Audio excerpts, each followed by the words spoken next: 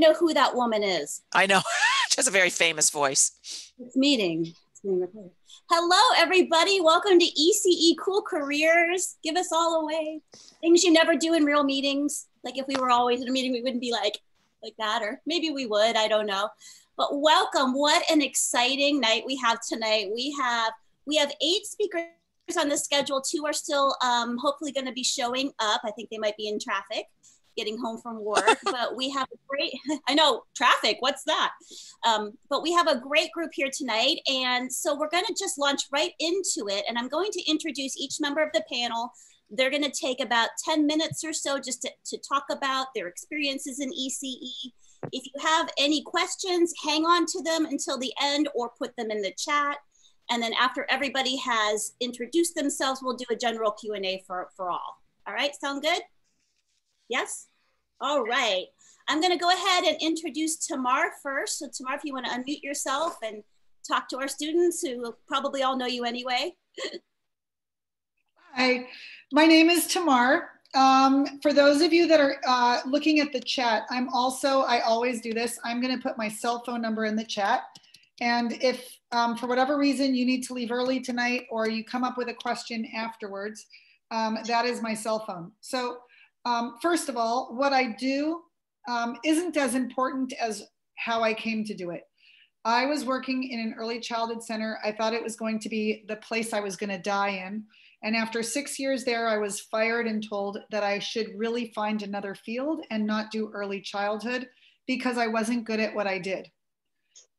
And it only made me want to be in early childhood more because I knew that what I was doing was the right thing for me. And I also knew that what they were saying about what was appropriate and inappropriate was based on very old methods of teaching young children, where they sit in circle for hours at a time, and um, the teacher has is the source of all information.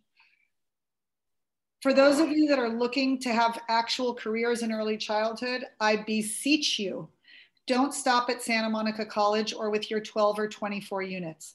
Make sure that you and that's why I give out my cell phone number. Find somebody who is going to be a mentor for you in life in this field. It is the most important thing to make sure. Thanks, guys.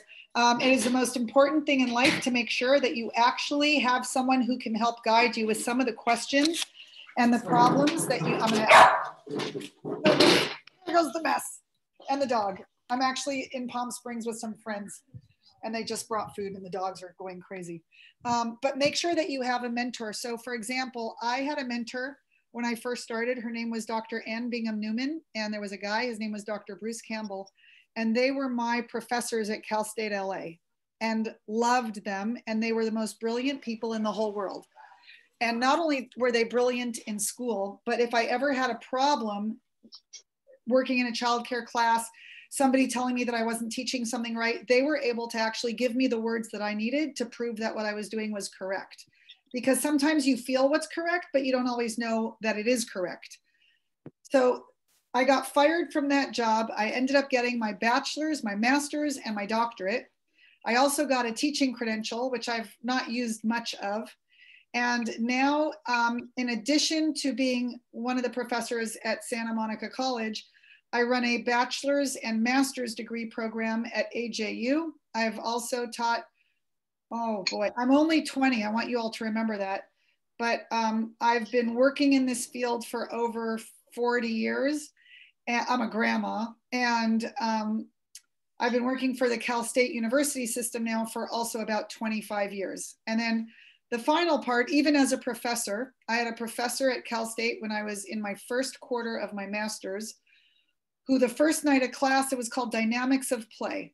And she said that until a child is five years old, only Piaget matters. So I raised my hand and I said, but I didn't learn my name on my own. My parents kept calling me my name.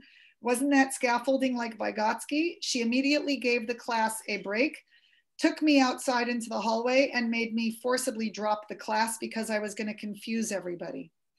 I went to the chair of my department crying because I knew what I was saying. You could prove me wrong if you wanted. Somebody else taught me my name, but you'd have to prove it to me that I learned it in a different way other than a Piagetian way. And for those of you who don't know what I'm talking about yet, Piaget said that kids learn things on their own. Um, and so that was when my chair looked at me and said, Wow, you really do know a lot. How about start teaching college? And that was the first college teaching job I got was in my then second quarter at Cal State LA. And then I worked there for about 15 years. I have gotten to travel the world from China to Azerbaijan. Uh, now, because of COVID, I do it remotely with Saudi Arabia. One of the first Jews to actually go and lecture in Saudi Arabia and the United Arab Emirates. Um, I am Jewish and born in Israel. And lo and behold, now we can have flights that go from Israel to Saudi Arabia. So who knew? Um, and so I actually do this. Why? Because I think that early childhood is the one area where the whole world can unite. It is the one place where we actually don't care where children come from. We just know that they need us. So before you drop out of this major, call me. And then somebody asked me, Do you, do you ever have doubts about this major? No, I make a lot of money. And I will tell you that honestly. Why? Because most of you think that you have to swear a vow of poverty to work in early childhood. Yes, if you decide to only get 12 or 24 units. What doctor or lawyer ever finished community college and said, That's it, I want to make a lot of money now? You have to invest time and effort and get good grades and go exceptionally well in all of your courses. Really remember what you learn. You never know when you're going to need it. And that's my thing. And then I do Q&A afterwards, right? That is right. Go eat. Okay. okay, thank you so much, Tamar. I'm going to move on to Netta. Wake up. okay, thank you. I I um I feel honored to come after Tamar. Um, I will strengthen every word that this brilliant woman said. Tamar was one of my mentors. I worked for her for several years, and I can say that I learned a lot from her, and I still do. Um, so my name is Netta. I'm originally from Israel as well, Jewish as well. I moved to the US roughly six years ago, and I'm a mom of two boys, two cats, a dog. I live in Van Nuys. And I've been in this field for about 20 years. And I took on a lot of lead teaching jobs in different organizations and school settings and nonprofits. And um, one of the things that always made me excited about working in the field of education in general, but in EC in particular, is that we really have an opportunity to make an impact. And no matter how old a child is, no matter where they come from, we are there to give them the foundations to teach them how to become their future adults. Um, we give them their first values to live by. And sometimes sometimes we make such a difference that they actually remember us 20, 20 some years later. Um, I'm happy to say that my first class are now 25 or 26 years old and they still send me photos and emails about what they're doing today and it's it's lovely so after all of those years um, of working in different classrooms i became aware of the fact that as much as i love to work with children I actually enjoy more supporting other educators who work with children. And that led me on a path to become a mentor teacher. And obviously, I needed to take some extra classes for this. Thank you, Santa Monica College. And uh, I became a, a California mentor teacher. I had several Santa Monica students coming to my class at Tamar School uh, for their uh, EC21 and EC22 and I just fell in love with it more and more and more to the point that I wanted to expand on the mentoring aspect and to become a, a, a teacher's teacher in a way, um, but more hands on and more in the field rather than uh, teaching college. And that actually created the opportunity for me to get into the space of ed tech, educational technology. I was hired by an ed tech company to become their early childhood education mentor. I worked with over 700 uh, family in-home family childcare f- facilities nationwide um, for almost a year and a half. I learned a whole bunch of things that I never even thought I will deal with. Uh, in technology and customer experience and managing portfolios of clients and still continued to educate myself and I'm now at a point where I am a consultant for several companies out there that provide innovation to the world of education, again, in general, and EC in particular.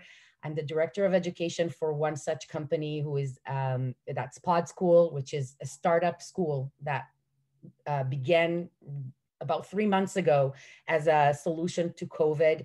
And I'm also consulting individual educators. Um, just like Tamar said, I'll be happy to drop my email in the chat very, very soon. So if anybody ever wants somebody to help them and support them, I'm always available and happy to. And a lot of people ask me, how did I get here? Like, okay, so you mentored. So how does that get you into the world of ed tech? Why would I even want to get into the world of ed tech? And I think that in the way that I see it, the more involved I get with helping other educators and the more involved I get with the powers to be that are able to influence and impact the world of education, the more I get to move forward toward my personal vision, which is to allow every single child in this world to have access to high quality education. And if I manage to do that for one child, I'll die a happy woman. If I manage to do it for more, hopefully I'll get to heaven.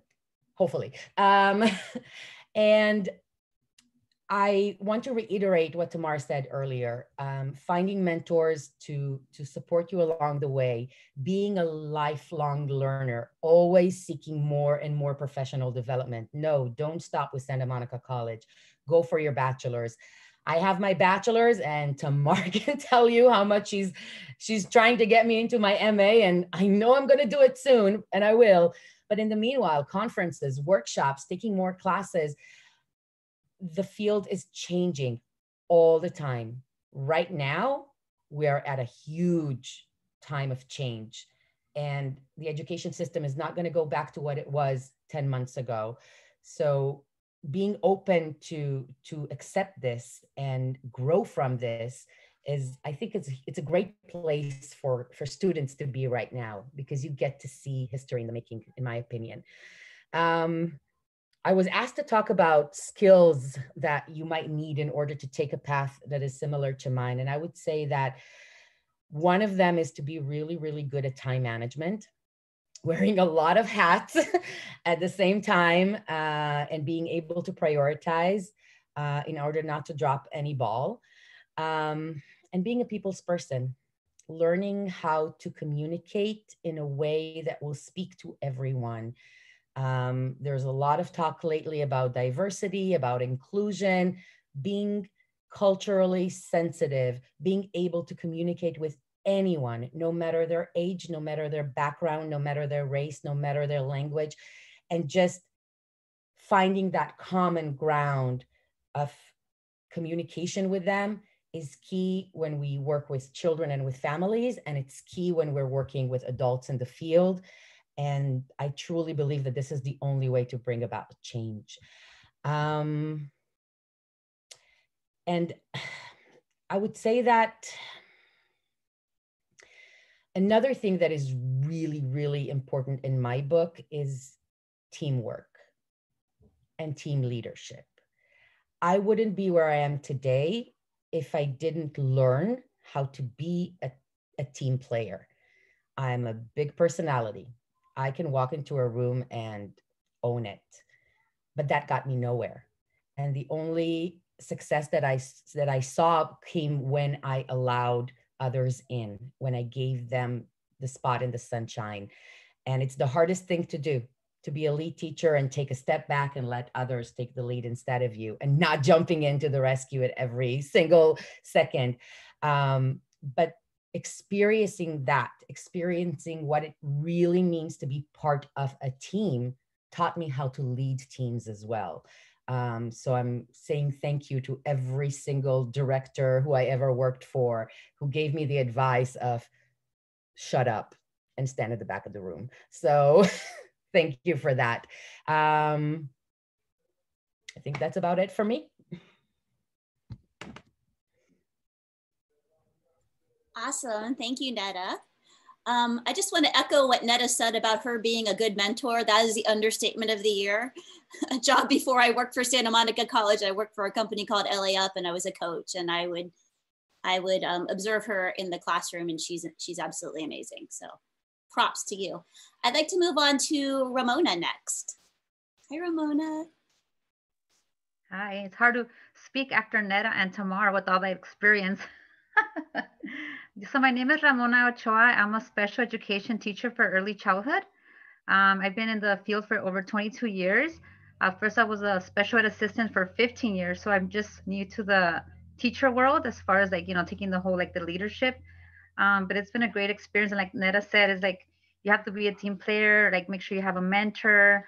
Um, it's sad to say that in the, I went to Cal State LA, and it was hard because it's the difficult part is like getting the financial aid, getting the support from the office. You left the paper here and they lost the paper. Like, how do I get applied to this? Deadlines. And it was so overwhelming. That part was the overwhelming part. But you had my I had my classmates, my cohorts. So we learned from each other. We helped each other out. It's just like sharing your, you know, your uh, receiving and giving advice and just being a team player. But so I've been teaching for going on five years now. Um, I taught in South Central and now I'm in Huntington Park. I'm in a collaborative classroom, so it is challenging, you know, to collaborate at times. We're all human, we have different personalities. So every year I have been working with a different teacher, and every year it's challenging because it's like a marriage. Like I have my own personality, and I'm controlling. I want to take, I want to just be with my kids and just do what I want to do, my style of teaching. But now I have to collaborate with someone else that has a different teaching style than I do.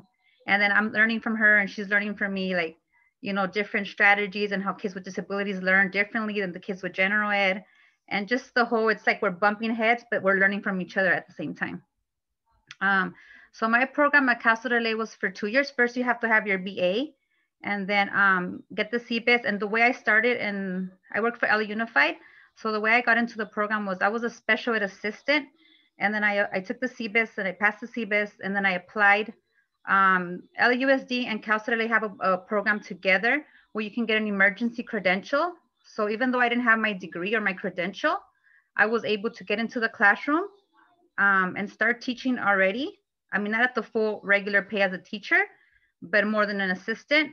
And so I started there with my emergency credential. And as I was going at the same time to school and the two-year program, and then there was like internship internships while I'm doing my field work. My professor was coming to observe me in the classroom.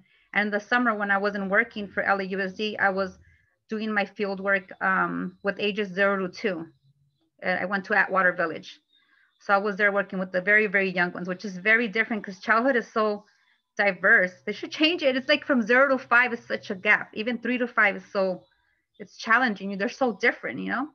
And then, um, so that was that. It was challenging, but like I said, if you, you know, make friends, um, talk to your professors. Most professors, they all want to help you. They want you to be successful they want to teach you they want you to learn they want you to come back and like do things like this. Like i'm very honored. Thank you kathy for inviting me.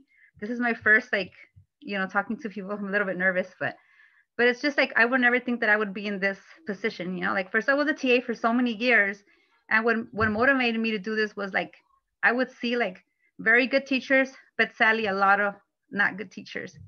And they, there's such a need for teachers you know? Such a good need for teachers that are dedicated and passionate teachers, especially in the special education field. Like at first I was scared. I'm like, I don't want to be a special ed teacher. The kids are so challenging. And but kids are challenging at all. Ed, special ed, they all have different personalities. And we're in a different generation with working with different generation of students that the whole like the way parenting everything's changing so drastically. There's so many different personalities and ways, you know, but so I just went into the special field and I've been loving it just the kids with Down syndrome, with autism. Like every, there's never a boring day because it's always like different experiences working with the parents. I mean, there's challenging times as well, but but it's so rewarding, you know, when they meet their goals and the parents are so happy. Like they come into your classroom, they were not speaking and now they're speaking. You know, it's it's so rewarding. But um, yeah. So and then our NARC and the credential program for LAUSD, they start off like I don't know, like three thousand, thirty five hundred dollars a month because they pay you monthly and then as you get the credential, it goes up like a thousand dollars. But then in LAUSD, it has like you have 10 years. Once you have your like say I get my credential, you have 10 years to get your all your units that the LAUSD lets you get. to move up the salary scale. So you can go up to 80,000, 100,000, depending like if you get your master's, you go up. Like I got my, so when you, if you apply, if you're interested in the Cal State LA program, I'm sure other schools have it too. You have like, you get the credential, it takes you two years, but you only take four more classes and it's embedded. So you get the master's and the credential together. So it might as well get the master's right. If you're gonna take the same amount of classes for the master's, you take four more and you have the, I mean, you have you two years for the credential, a couple more classes and you get the master's. So you get to choose a comp or the thesis. I took the comps. it's doable. I have two kids. I have a dog. I have my boyfriend. It was so stressful, but I mean, you can do it. You just study. You you you know you set your mind to it, and you just you do it. You know. But um, what else can I say? I think that's about it. Yeah. So you know the advantages and disadvantages. Just the the joy in the kids' faces. They're so like honest and nurturing and they just they just love you unconditionally and the parents most parents are so super grateful and the only disadvantages i could say of my job is um you know if you want to be a super fun teacher a lot of the money comes out of your pocket. If you want to do fun activities fun lessons that's you know the disadvantage. But if you love it so much you don't even care you know? Because my daughter the fortune she's like oh for your kids because i always say for my babies for my babies. They're like everything's for your babies. For next year Halloween, for next year's Christmas. You know, you just want to always just bargain shop and get all these goodies to make the learning fun, you know, hands-on fun. Um, and the typical work day, I work, um, well, before COVID, it was 8 to 12.30 since the collaborative classroom. And then, so the kids go home at 12.30 and then I might continue till 2.30. And then I do like IEPs. If I don't know if anybody knows about that, it's an individual education plan. So every of a kid with a disability has their own educational plan and they have their own goals and objectives. So I work on that or DRDPs, you know, the, the preschool assessment. Um, just talking to parents or, or meeting with like related services like occupational therapists, speech therapists, physical therapists, adaptive P teachers. Like we share ideas or concerns or they have questions because we don't really see them. We don't really talk to them all the time. So we try to, you know, on the phone or they when they come, we meet really quick. Um, and again, the advantages also is that if you work, I mean, LAUSD for a school, you work 10 months out of the year and you're getting paid on the summer. You know, you get the all the breaks, all, all the Christmas breaks, all the holidays, all like Thanksgiving, you get a whole week. For Christmas, you get three weeks. but um, I don't know if you have any questions for later, but thank you guys. And thank you for having your cameras on because it's hard to speak to someone when there's a black screen.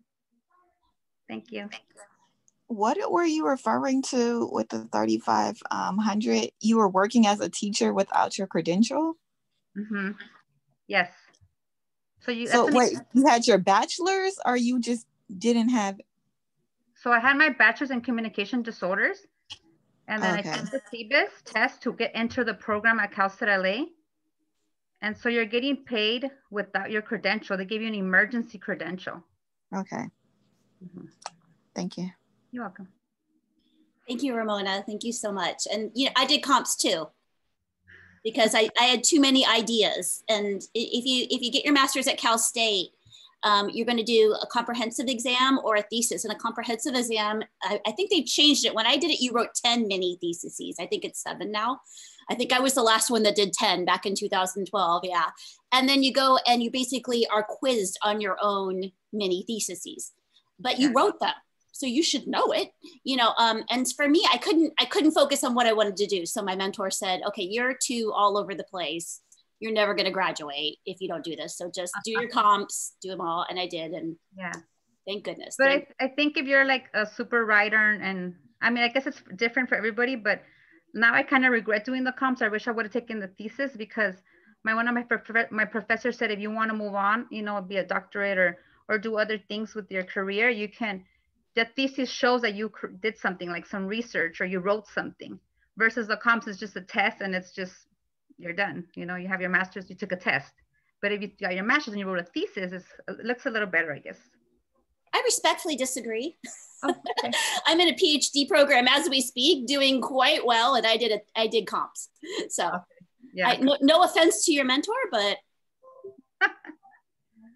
there yeah, I mean, everybody's different. Comps, take you take the test, you have to memorize all the laws of special ed and why laws changed, all the disabilities. Yeah.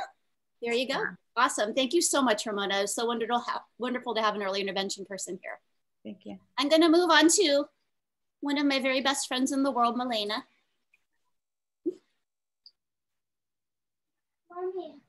Oh, what an introduction. Thank you, Kathy. Um, so this is my first time, as it is um, Ramona's, to um, present. And it's it's such a unique opportunity because it's about me. It's not about theory. It's not about practice and um, compliance and licensing. It's it's about me. So cut me off. um, um, so I guess I'll start with my journey, like a quick overview. Um, I originally started college um, right out of high school as um, more of a science and math major. I was really interested in that. I could have been um, chemistry, biochemistry, engineering. You know, I, I was interested in all of them and tried all of them. Um, they still interest me. I still enjoy them. Um, I did take some time off to get married and start my family. And then when I returned, I saw in the school schedule that there was um, child development classes. And I was like, what? What's child development? Um, but since I have children uh, or my son now, maybe I should take some science courses um, towards my degree and do a child development class just so, you know, just to educate myself a little bit about parenthood and, and children and what's new nowadays. Well, first day of class, right after class, I walked um, into the office and changed my major. Um,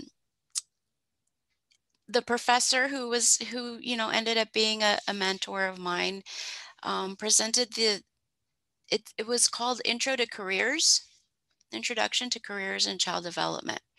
And she just opened this world up for me that i always thought preschool teachers are preschool teachers and that's what they choose to do with their life with their career you know and, and like ramona said it does turn into your life. Um, and that never really i mean i love children um, but it wasn't some like a career path that I had an interest in at the time, just to be perfectly honest.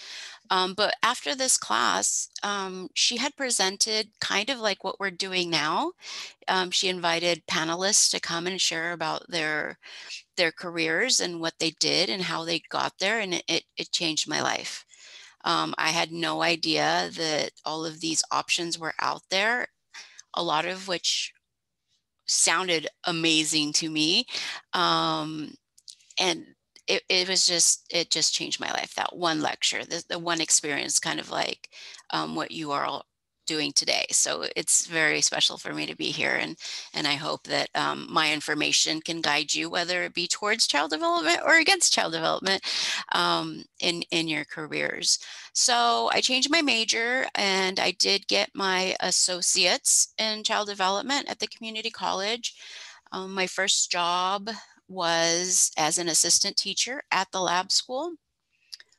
And I want to go back to what um, I think Tamar and actually everybody has touched on, Netta and Ramona, about mentors. And I'd like to add building that community that that really is is I think where it's at for me in this field is the people that you meet, the ideas that you exchange with them and the change that you make in the world is just beyond words for me. Um, so that first experience at the lab school um, really set the foundation for everything that came after. Um, you know, the ladies have said before me that um, you have to work hard you really do. Um, I think the the false impression that I had of the field before is kind of like, you know, the 12 units or the six units. And not that there's anything wrong with that. I'm not speaking down to it. It just wasn't what I was looking for. And I didn't know that there was more.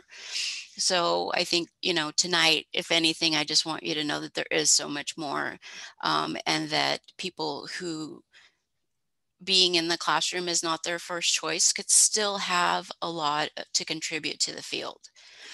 Um, I currently am not working in, in the classroom, so I'll share a little bit about that. But let me know when I get close to the 10 minutes. So I worked, I worked there and worked part-time as an assistant and then continued my my education and received a bachelor's um, from child and adolescent development from CSUN.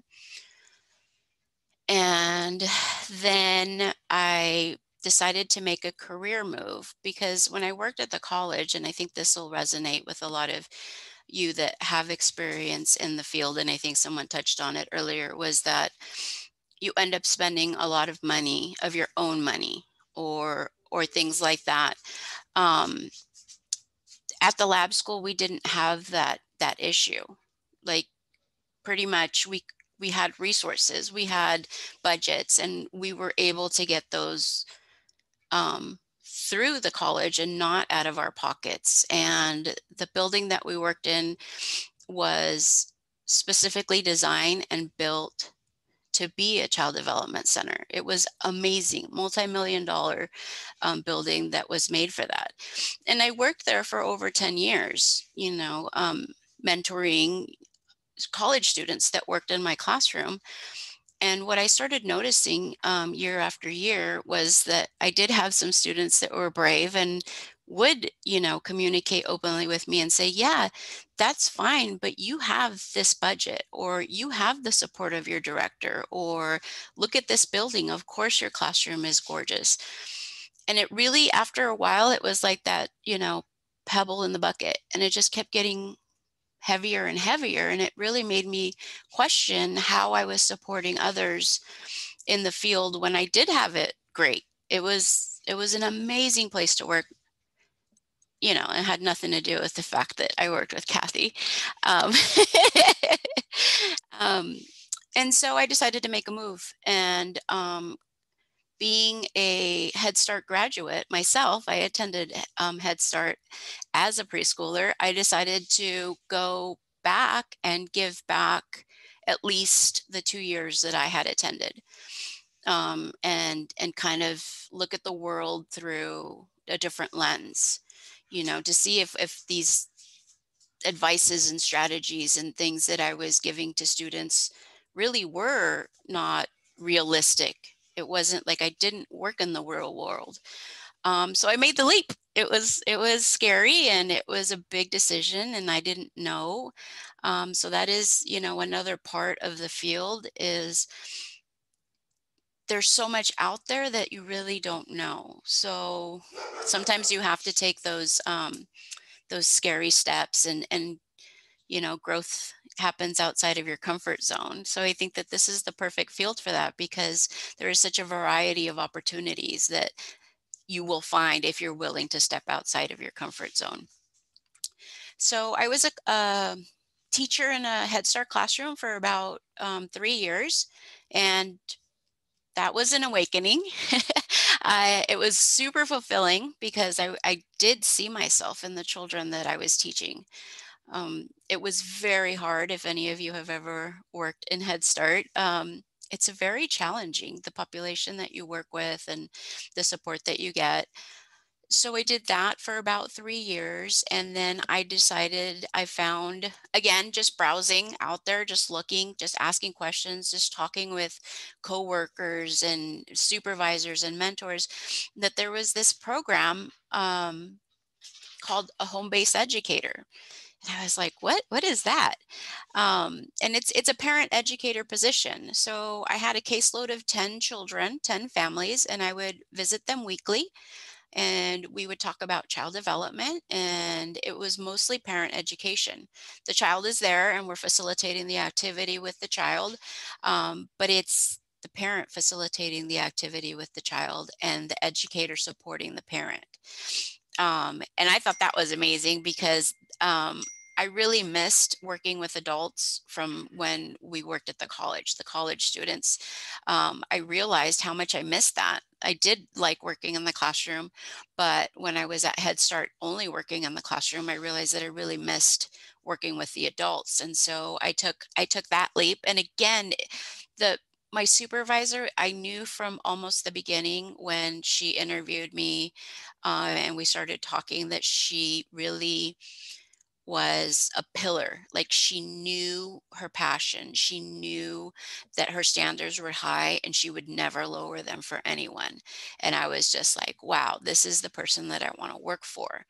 Um, and I've been with her over four years now, and it she is the same. And she even actually there was mergers within departments at my agency and i actually applied for my current position because she no longer supervised my former position and there was an opening with her here. So um, that was you know that's a career choice that probably had nothing to do with you know the actual field but it goes back to the mentors in the community that you build is you you surround yourself with those people. And as kathy said um, she and I are the closest, and um, the things that I admire about her are are that are you know her ideas and um, her willingness to stand up for what is right, and I think that's really needed in the field, um, and that will that is a skill that that people will notice and that will get you where you want to go.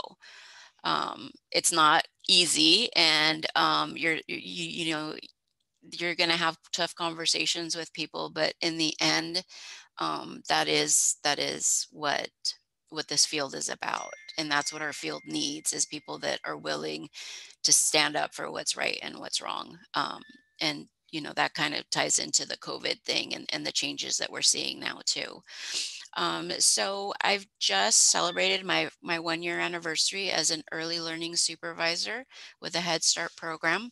I um, oversee the operations of four Head Start centers in the San Fernando Valley. Um, I have three center directors um, under me.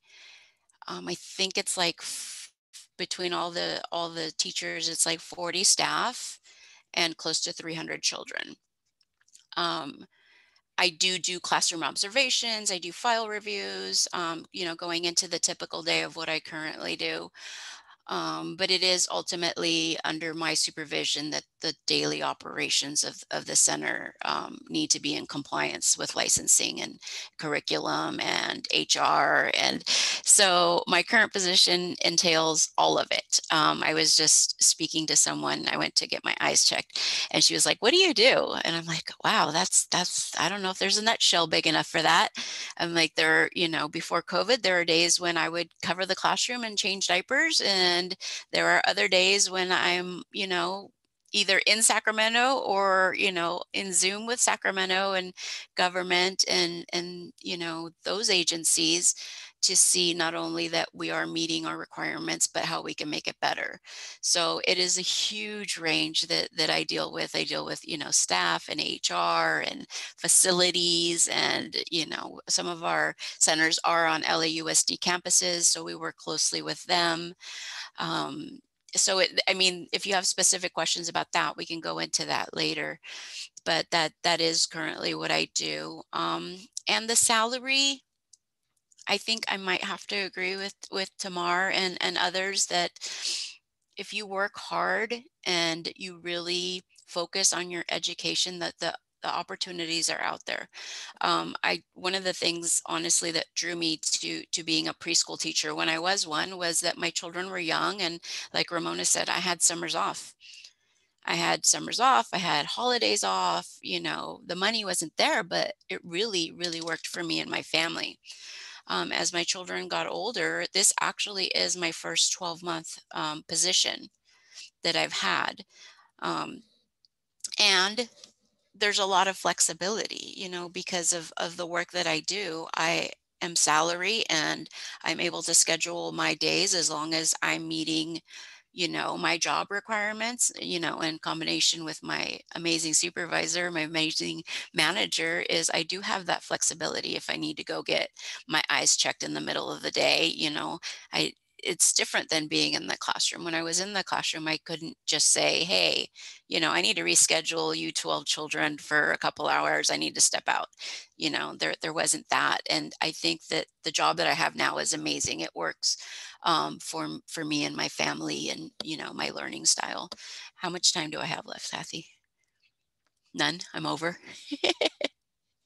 okay, so that's the general overview. Um, I am currently um, finishing my thesis to get my master's at Pacific Oaks. Um, all just about 99% of that has to do with Kathy's encouragement and support and her example that she set. So I just kind of follow her example and we piggyback off of each other. Um, and my thesis, when completed, will be risk taking in early childhood and how that affects brain development. Keep keep an eye out for it. Thank you. You're all going to want to read her thesis. We went to Denmark in the forest kindergartens, and it's incredible. And you're nice to say my encouragement to get your master's. I kicked you until you got uh, Malena. Malena and I were co-teachers at Moorpark College Child Development Center for many years, and it was a magical experience, as she said. And we both yeah really moved on a lot since. So there you go. All right, awesome. Thank you so much. We have a couple more speakers to introduce before we get to our Q&A. What a great group we have. Oh my goodness. Um, so I wanted to move on next to Pilar. Is Pilar still there? I see your camera is off, Pilar. Are you ready to talk or should I come back to you? Looks like she may have stepped away for a minute. Okay, that's fine we'll come back to her. So I'll move down to Kathy then. Kathy from, um, it's Casita Nueva, yes? Am I saying it right? Can I ask a question? Uh, please hold the questions to the end. We're gonna, we're still introducing our, our um, panelists. Thank you. Go ahead, Kathy. Hi, I'm Kathy Yanez. Um, I am a family home childcare, childcare provider. Uh, my little family childcare um, name is uh, Nuestra Casita Nursery. Um, I've been a um, early, child, uh, early childhood educator for about 22 years now. I started when I was 20 and I'm, well, I just turned 43 yesterday. So that. Um, and um, I've worked in many um, settings. Um, the last setting was with um, Hill and Dale Family Learning Center and Discovery Center here in Santa Monica. I worked with them for about 10 years. I got a lot of wonderful um, training there. Um, I have been to school, but I don't have, I feel at a disadvantage here, but I don't have a BA, I don't have a master's. I wish I did. I really, really wish I could have been a part of um, the college and university education experience. I wish I would have had that experience, but as a single mother and I'm uh, and just um, I, I, I just couldn't manage. Um, and uh, I admire all of the single moms that can manage being a single mom and school and a full-time job. I I could only manage being a parent and a full-time job. But I basically have um, self-taught um, a lot. I've done a lot of research. Um, I've gone to back, taken a couple of classes at SMC. Um, uh, if you, uh, if there's something like um, you know, children with um, sensory disorders. I saw a lot of that in the preschool. And so I just wanted to know what is this? What's going on here? How can I, um, you know, gain more skills to help um, the children with sensory or, or other uh, physical disorders or, or, or delays. So I, I did a, I do a lot of that. Um, um, so I decided to open my own um, in-home childcare about a year ago. I've only I've only been a, uh, a year in this. Um, it's been quite a huge challenge and a, a, big difference from what I used to do um, in, at the preschool at Hill and Dale. I used to be a lead teacher there. Um, I had, you know, a staff of 10 to 11 teachers that would help me and and we would get everything organized and get ready for get things ready for the children and you know do all the um, teamwork Um, and but now I'm doing it all on my own, and it's it's really it's really overwhelming, but also very um, satisfying um, as well. Um, I um, so I went in, in to do it here just because I felt like I was ready. I was ready to move on. Um, although I don't have a bachelor's or a master's, I, I still, I, you know, learned a lot from good teachers and bad teachers. And I made um, um, a really good community here in Santa Monica. And uh, as soon as I opened doors, I was able to um, pretty much get enough children to um, sustain the, the business. Um, COVID has been a, um, a tough experience, um, but just keeping, just updating every, every, every time they, uh, the CDC was updating for the city of Los Angeles and just uh, showing my the parents and the families here that um, I'm on top of it and I am committed to keeping the children healthy and together we're we're um, we're keeping each other healthy in this small community. Um, it's been we haven't had a case. I've been open the entire time, and and we've been really really um, really well, really good. Um, the process to open your own um, family home, childcare home, it was it was not that uh, scary or I mean it's scary because you're like licensing. Oh my goodness, ah, do I have everything? Um, but it was quite um, simple. It, um, and um, and it's it's it's it's a good um, it's i don't know i feel like i'm in a better place than i was when i was working at the preschool but um but i do miss the the um learning from um, more experienced teachers. And i do miss um the the team that i had at the preschool um because it it does there's a lot to do when you own your own business. Um, I don't know if anybody has any questions. we'll, we'll be taking the questions at the end. Oh, okay. Yeah. Oh, okay. Can I just say that Kathy is being very modest. Her school is beautiful. It is a lovely bilingual program near SMC. And when I went, I've, I've sent students there and I, you all who know me know that I am picky about where I send my students and I would send them there in a second. Her place is absolutely beautiful and so warm and welcoming. And I can't, I just can't say enough about it. And I, I can't wait for some Q&A on you and talk. I know we have a lot of students that want to start a family childcare and you can, you can give Great. them all the, all the, all the story there. awesome. Thank you so much, Kathy. Thank you so much. Um, I'd like to move on to Pilar Gonzalez now, who's going to tell us about her program. Pilar? Yeah, thanks for inviting me, Kathy. I'm very excited to, to be talking to everyone. So I, uh, I'm the founder and director of Aventuras Forest School. We're um, a forest kindergarten uh, based in mostly in Griffith Park.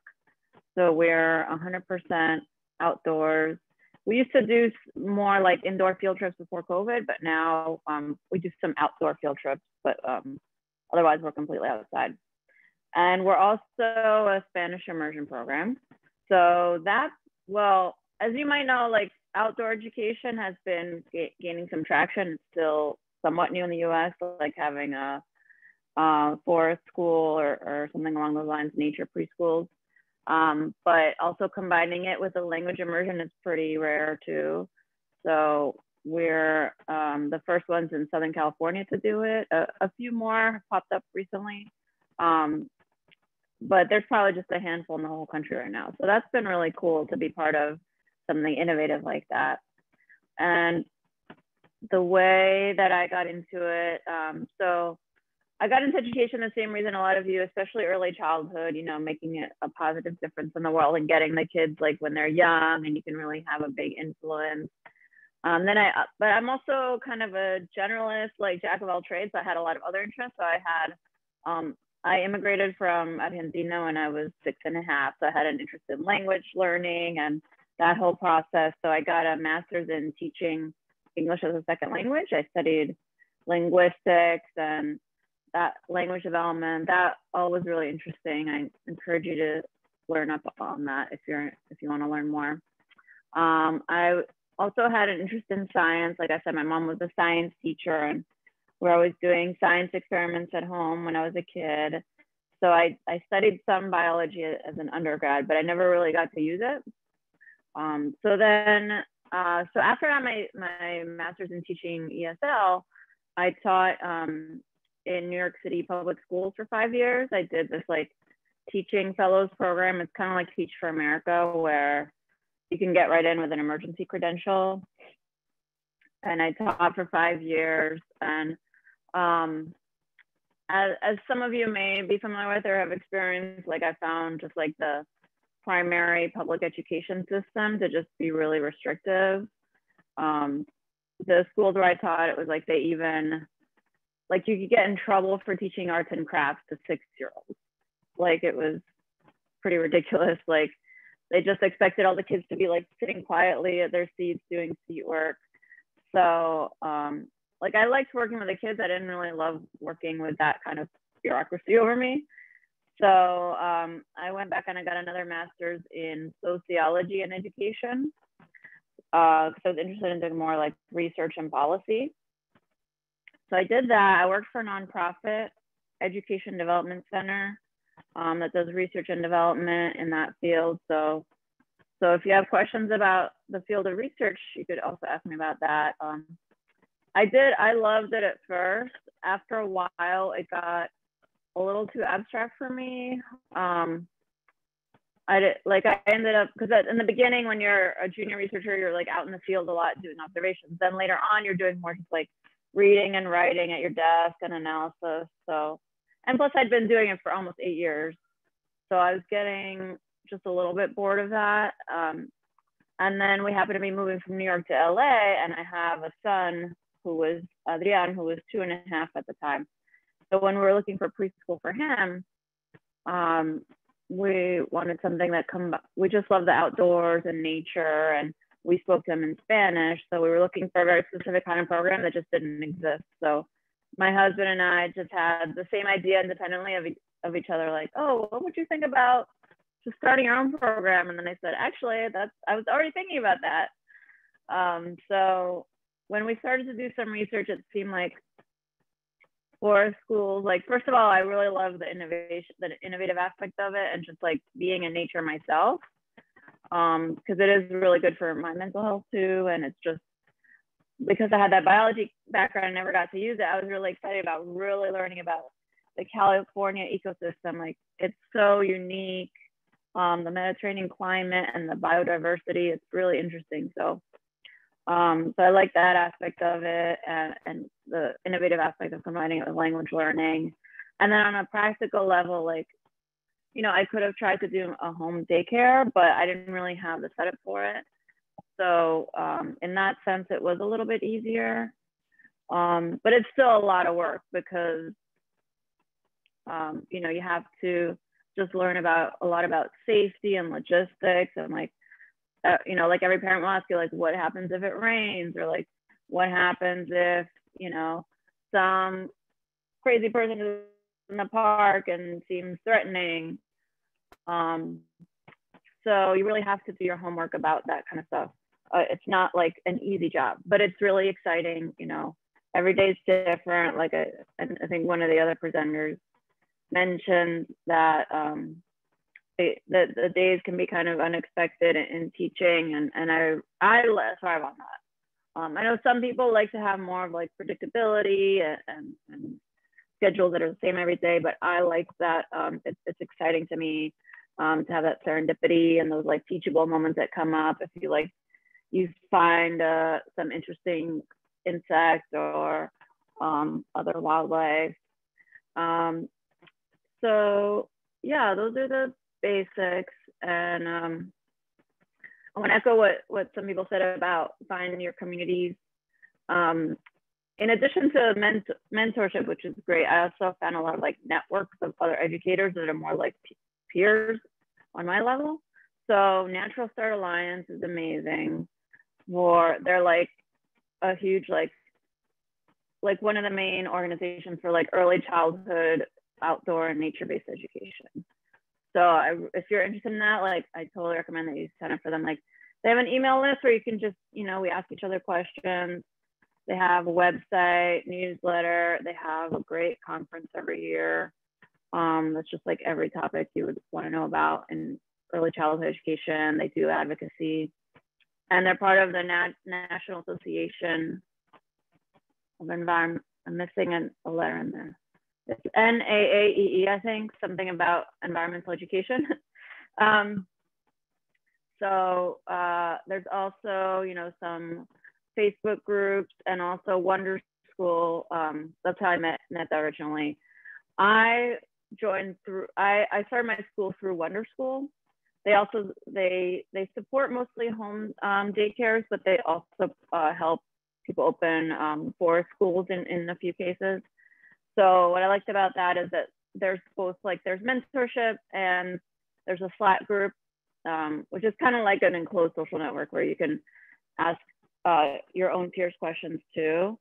Um, and, and they have a platform so that you can do, you can schedule tours there and do payments and things through Wonder School. Um, so that's something you might want to look into. They are pretty active in um, Southern California and Northern California. And yeah, also uh, like conferences, workshops, and also just reading books. Like um, I read a lot, both about like um, nat natural history and like the actual nature in Los Angeles and in California. And also more just like theory, a little bit more theory, theoretical, like this one is about Balanced and Barefoot is about um, how nature is really good for like physical development. It's good if you're interested in the intersection of like physical therapy, occupational therapy, and, and nature. Um, this is like, this one is more about like a form of outdoor education, Coyote's Guide to Connecting with Nature. And then like anything by David Sobel, basically, he's one of the godfathers of um, nature-based education at, at this age level too. Um, yeah, so, and, and, just like sign up for newsletters and things like that. Um, always be educating yourself. Um, if you want to run your own program, I really recommend that you, it, it, helps to be like an organized person. Like I have an app called To Todoist, T-O-D-O-I-S-T. And I just have like, I have task lists and they're sorted with like due dates and color coded and everything um, and tags um, because there's just so much to keep track of like the development of the individual children and parent relations and you know marketing tours um, there's just so many different um, areas of work to keep track of that you really need to stay organized and it helps out obviously as some of you said communication skills communicating with parents, communicating with um, other teachers. Oh, and by the way, I will, I'm sending my email address right now and I will um, type up some of the, the books and authors that I recommended. I, I got a request from someone. So I'll definitely write that up too in the chat. Um, and then I also recommend that you really pay attention to your own mental health, especially if you're running your own program. Like there's this saying of like put on your own oxygen mask first before you can uh, help others because you're a role model. So the kids will be really um, emulating you, imitating you. Um, and it can be overwhelming, you know, to be running your own program. And like I said, you're just firing on all these different cylinders. It's easy to let the work like slide into your evening and into your family life. Sometimes it seems like there's just an infinite amount of work. Um, so to set those limits and the work-life balance and your own mental health. Um, like I, we do mindfulness and meditation and yoga in the school. Um, so I find that that helps me too. Um, but yeah, basically, like I like I love being able to be my own boss. Like part of the reason, because when I quit teaching, I thought that I would never teach again. To be honest, uh, when I quit teaching um, in elementary school, because I was just like, oh, there's too, you know, there's too many restrictions on me. I know that this is not how kids learn.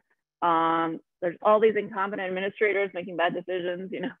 Um, and so but the reason i was able to go back to it was because oh it was i was being my own boss and i felt that in early childhood you do get more flexibility uh, i'm sure it depends somewhat on the program and um, things like that but you know once you get to like elementary school it's like the testing and the and the state like everything is very like top down at least at the public school like a regular public school um, so i really love just being like hey, you know, oh, Ruth Bader Ginsburg died. I want to do a unit on feminism. Cool. Like that's my decision. I, I know it's good for the kids. You know, as long as, you know, I plan it and, and I get the parental buy-in and everything, like I can do almost anything that I want. Um, like there's a lot of considerations, but I have that freedom to really like give the kids what I think is best. Um, so that's really cool. And then for COVID also like we did end up, um, I mean, it's sad to say, but we did end up benefiting from COVID in a way because, um, you know, we already knew the value of outdoor education, but now a lot of other people are seeing the value of outdoor education because you get the space to spread out, the sunlight, they think like UV kills um, viruses and COVID. Um, the air is like circulating. Um, there's fewer like surfaces and toys and things to touch. So we've been receiving a lot of inquiries. So, so that's cool. Um, uh, yeah, so let me look at some of the, um, so a typical workday, let's see, I'm not sure how much time I have left. Do I have some more time? We're just, we're just gonna, yeah, you go ahead and, and, and take another minute and then we just have two more speakers to introduce and then we'll move on to the Q&A. Okay. So I did want to mention a typical day because I know it can be a little bit hard to visualize like what a forest school day is like. So um, so our school day is nine to one. Most forest schools are half day programs. So we get there a little bit before that and I bring my supplies. Uh, my car is just like full of supplies and we have like a wagon. So we bring in um, supplies and, and the water and, and we just cart everything around. It's like a portable classroom. And I have one other teacher now we have a four to one ratio. Um, and then, you know, we do some of the typical preschool things, snacks, circle time. We go for walks. So the nature walks are nice. We eat outside, which is really, um, I, that's one of my favorite parts is like reading outside, doing art outside, like everything is more fun outside. Um, so then, so then we go through, you know, somewhat typical preschool day, but you know, it's it is very child centered, and there's a lot of free play, and and we are, you know, we do follow the kids' interests. And then at one, um, I pack up, and uh, while my the other teacher watches my son, and then uh, then I transition to I have a workspace that I go to, and then I do administrative work from like two to five. Um, and I try to end work by five or five thirty for to have family time and keep my sanity. Um, but yeah, that's it. And, and, you know, I do virtual tours in the afternoons right now because of COVID, but that's like a typical work day. Um, yeah, and then I'll save the rest for a question, Q&A time.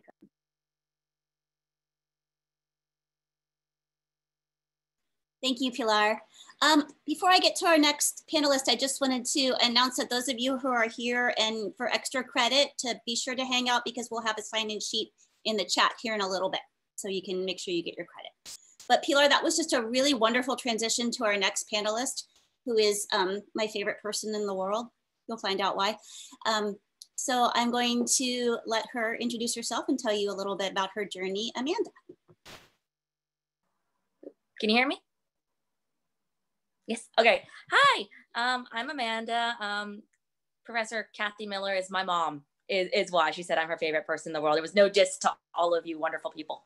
Um, so I am a preschool teacher at a, um, a child development center in Ventura, the Great Pacific Child Development Center, which is Patagonia, the clothing company's on site childcare center. Um, I've been teaching for seven years almost now. I, I was teaching since my very, um, well, first semester basically in college. I took an internship when I was in high school with um, Milena and Kathy um, in their program with two year olds, I think it was, uh, and kind of started to fall in love with the field, but wasn't like, I still like wanted to be an artist. I think I wanted to like paint all the time. So I didn't end up like fully committing to being a teacher up until a couple years ago. And um, the big kind of transition for me was going to Denmark and visiting a forest preschool there and seeing what I realized I wanted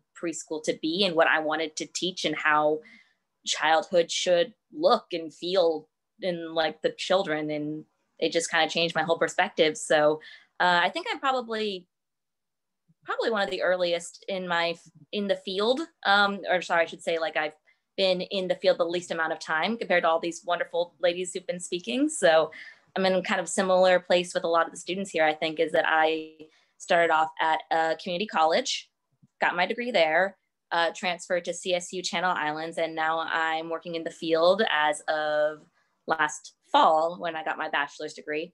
Um, let's see, what else can I talk about? So the program that I work at is a big outdoor classroom program proponent. We are outside at least 80% of the time normally, and during COVID, that is way up we rest outside. We, when possible, we change diapers outside. Um, it's it's really wonderful. Um, let's see.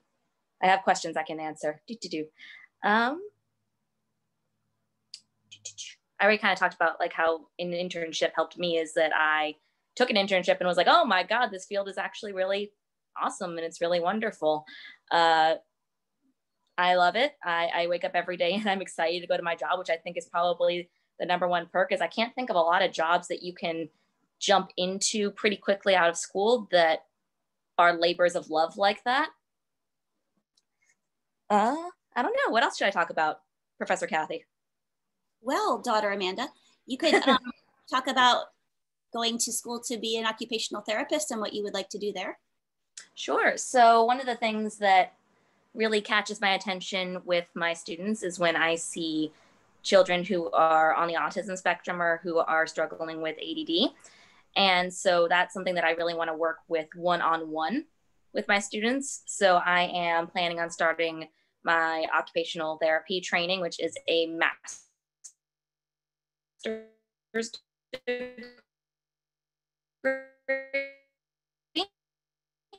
um, and that is it's kind of similar, you know, with a group of people, you get a um, license and then you uh, either join a practice or you start your own practice. And that is kind of um, maybe not the most like like typical um, career path, but it made a lot of logical sense to me is because I discovered that I love working with children and then I'm kind of narrowing in on how I would like to work with children.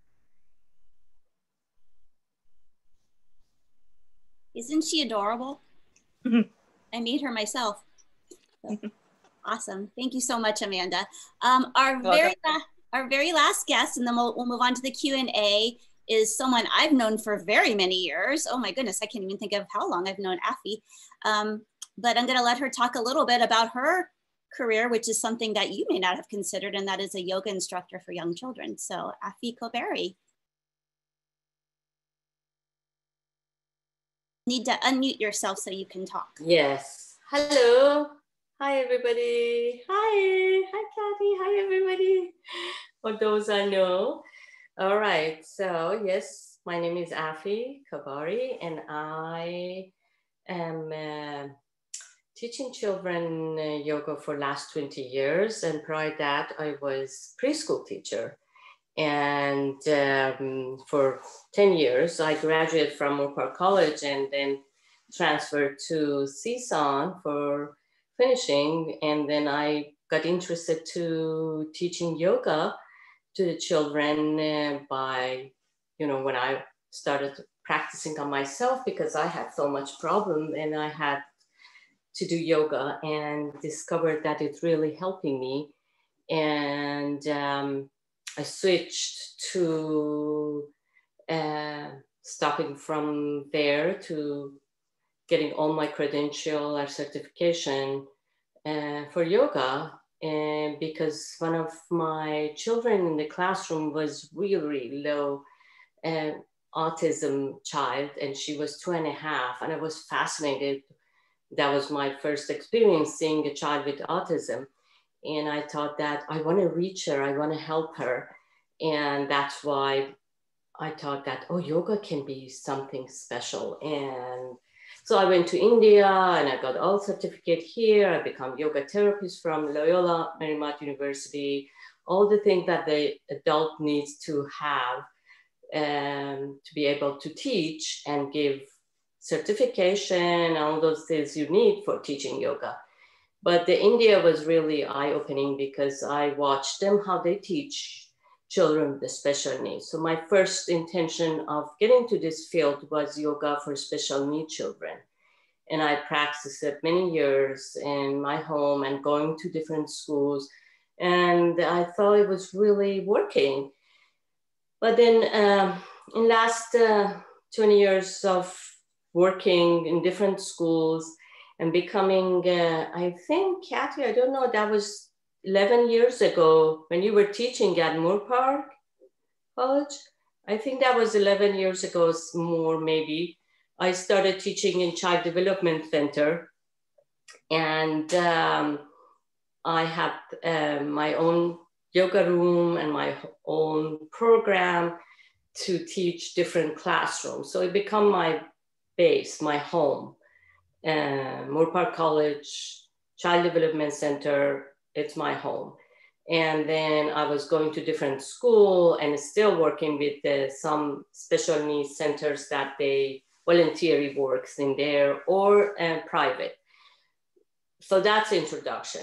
But then why yoga works is because yoga is working with your whole body, your whole uh, here what you are, your five senses. So I realized that and I helped myself with that. And I had the background of my education, child development, how to teach children yoga, uh, children in the classroom at the circle time. How do you reach them? How do you grab 15 children sitting around you and you can read them a book? That's not an easy job. So they taught us how to do this, a grabber, and then you invite them with the song, with whatever you are um, probably know what to do. And then you have a teaching moment, and then you have the ending and closing your um, time at the story time, at cognitive or um, music, whatever you are teaching children. So I had that background, and then I created a program based on that, and I called it Yoga Mama. So my program is always the same to invite the children with this special thing that is called magic box, or it can be anything. Uh, when I have workshops, I say that it's not that you have to stick with my magic box. You can just have your own way of grabbing children, but it has to be always the same. So children can uh, call it that, oh, she's calling us. This is a time for yoga. And then you use all different kind of animals, uh, which in my booklet that I made is um, um, lion pose. The, the actually in adult yoga, if you're familiar these days, everybody more knowing about yoga. When I started, I had to be very, very careful for using uh, words to not get accused for teaching their children religion part. So it was very, very tricky 20 something years ago. And then now you can, but then using the animals like a dog pose, a cat pose, which we say the same thing, a lion pose. I mean, I can go on and talk about it, but if you have question, I can go more in detail to tell you what and how you do that. But then when you teach children this poses, the movement, you give them freedom to be who they like to be and how they like to present their dog. It's, it's their own discovery, their body, body in the space, in feeling comfortable that, oh, I can do this. I can be a tree. I can be a windy tree, and my leaves are uh, flying. Or I can be cat and making sound meow and go around the room. But then when you do these old movement with the children, it's very hard to bring them back to your attention again. So what I made is I do not use words because it's something that I always hear. Don't do that, sit down. So sounds is very powerful. So chanting is very powerful. So I always use different sounds, a bell or this is the sound.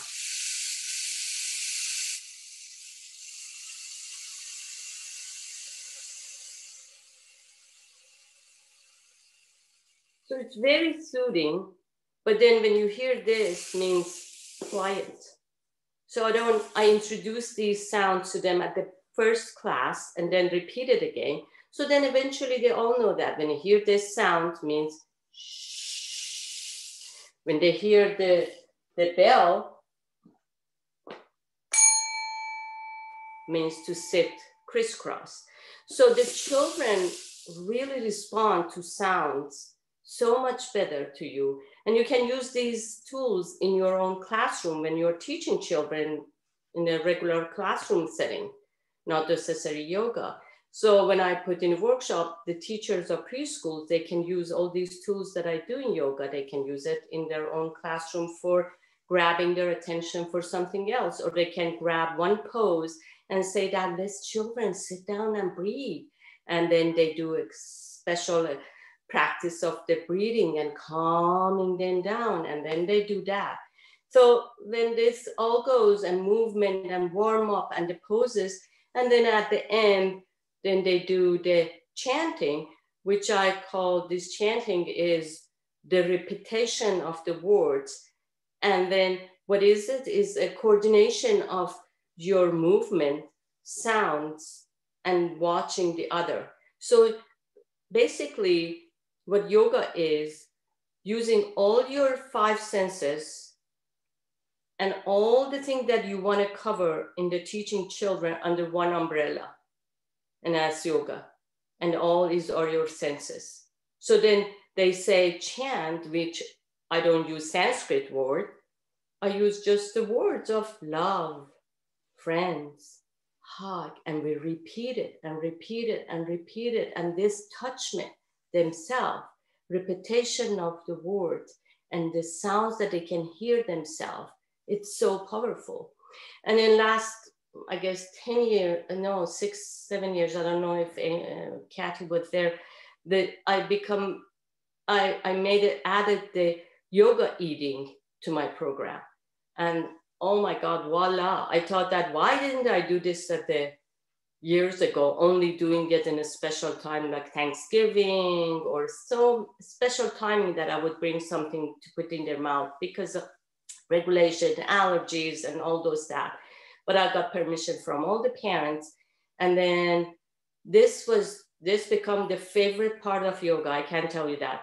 Half an hour yoga, the children come to just wait and experience of putting one gummy in their mouth they're saying that, what is yoga? And they say, yoga means be patient. Then what do you use in yoga eating? Five senses. We do all the math included in this. What are your five senses? Your mouth for eating, your nose for breathing, your eyes for seeing, your ears for listening, and your little pinky for touching. So they're putting that in their mouth they cover their ears and listen to it. Whoever is taking the longest one, or the one that can taste and feel one little gummy. This experiment has been working in a lot of workshops for adults that when they teach you to really become aware of what you put in your mouth. And we don't pay attention, adult, how much, how many times, when do you really pay attention every spoon you put in your mouth? Or dinner or lunch. So teaching children, it brings their attention them to their parents to bring that how important is our body to put something in our body.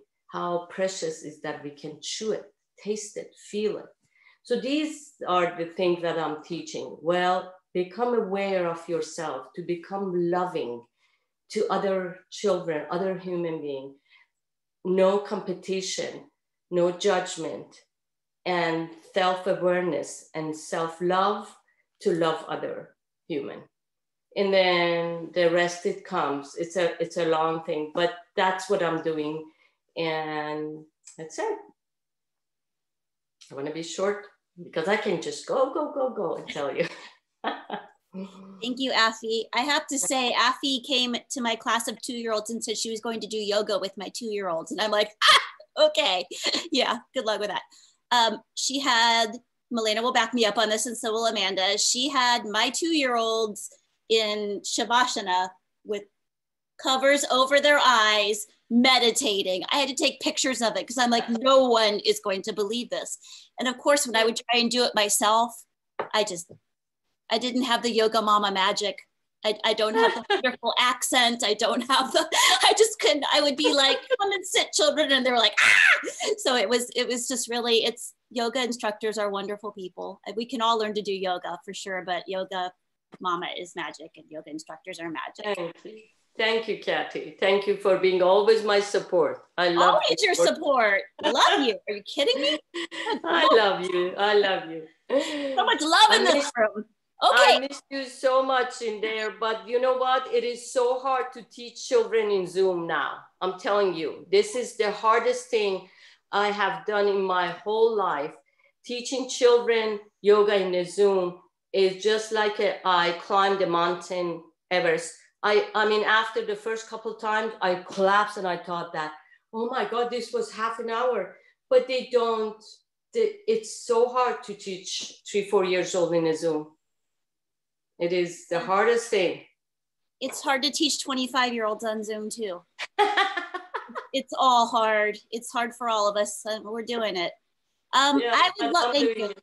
Thank you. I would love to open us up now to some Q&A. Um, we have a couple panelists that have to leave pretty soon.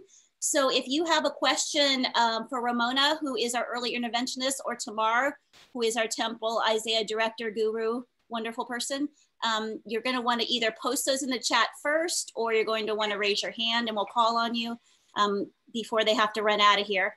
So go ahead and uh, post it in the chat, raise your hand, whatever, and we'll just start calling. All right, I'm going to start with Catalina. Unmute yourself. Good evening, everyone. I have a question for Tamar. Could we text her? Yeah, I put my phone number in the chat. I'll do it again. Um, let's see, 862, wait, 980. Okay, I've put my cell phone number in the in the text in the chat box again. And feel free to text me anytime. Okay, I will do so tomorrow. Thank you okay. so much. You're welcome. It was great meeting you. You too. Awesome. Um, I see a hand up with, uh, is it Taisa? Go ahead and unmute yourself, my friend, so we can hear you. I had a question for um, anyone in the panel co um, answer this. Um, as early childhood educators, how do you combine early childhood education into later on in life? My motivation for wanting to go into early childhood education is I have children. I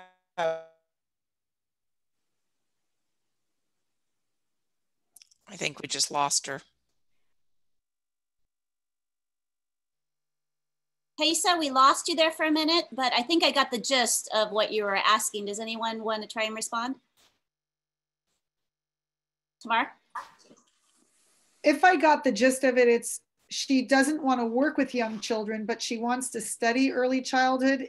She has Oh no, I want to work I want to work work with young children, but as my children go, get older, if I could work for a school that's like TK all the way to 12th grade, I kind of want to stalk my children while they're in school. That's my motivation. Oh, I got it. Okay. So then what you want to do is you want to go to the California Commission on Teacher Credentialing or Google the um, California Child Development Permit Matrix.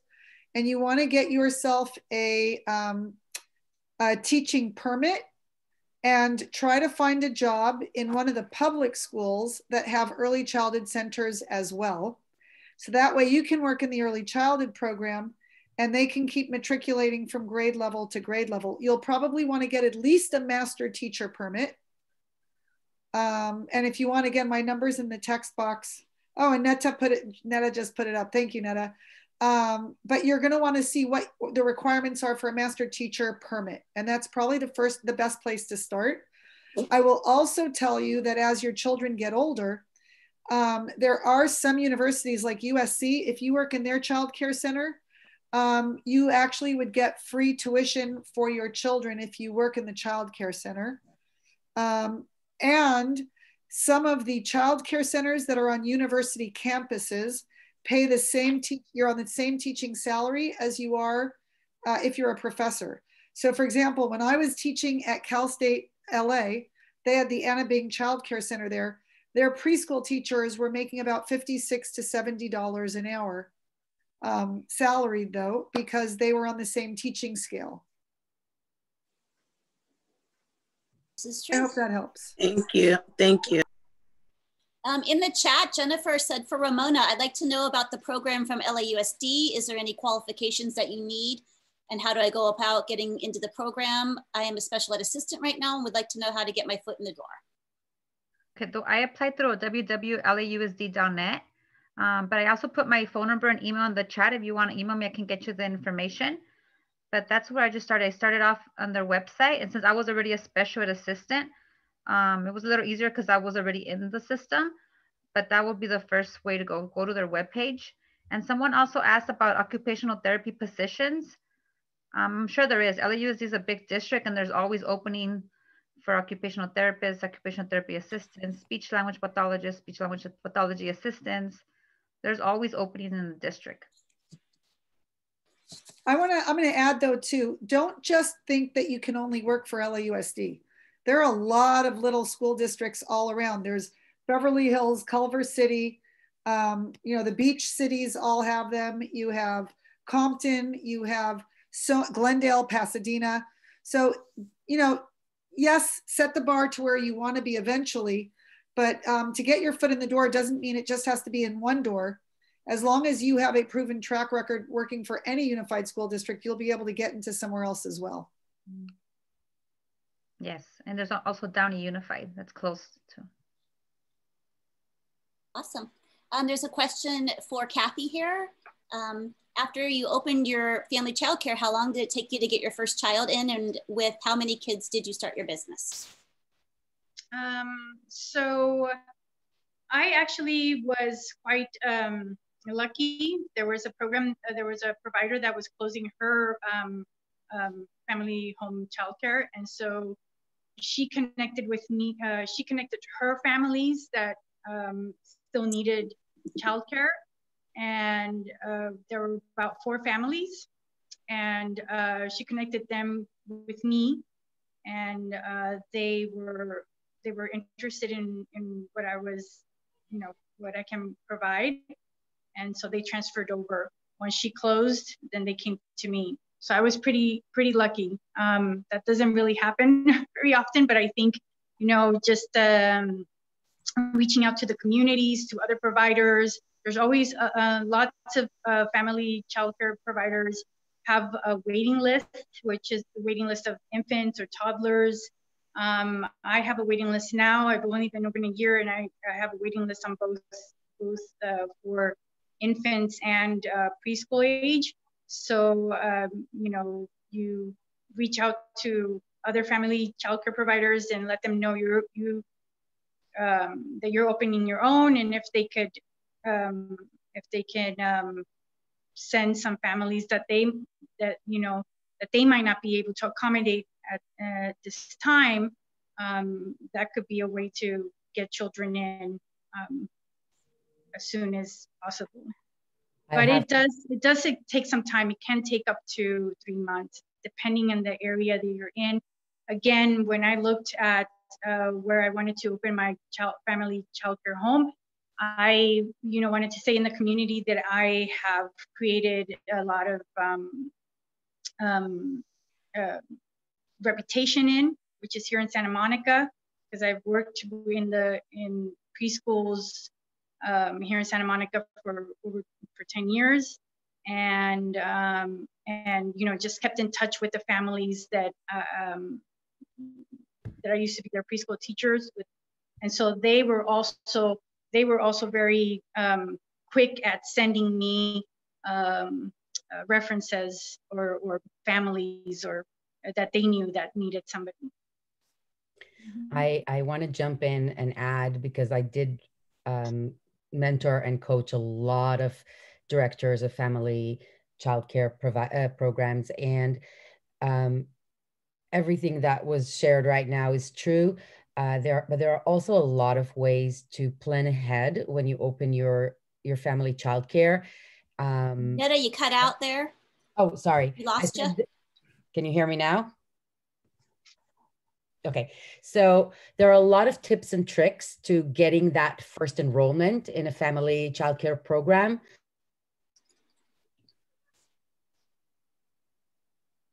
You're on mute. Okay, can you hear me now?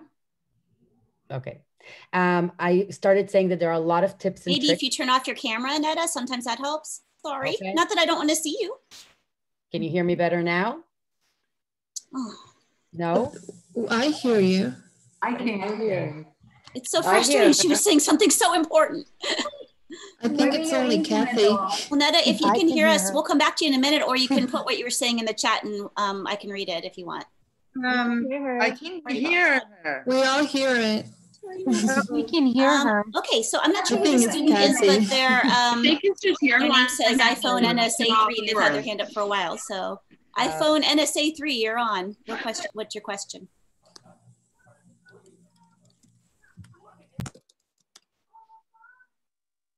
Um, I'm mute. Can you hear me?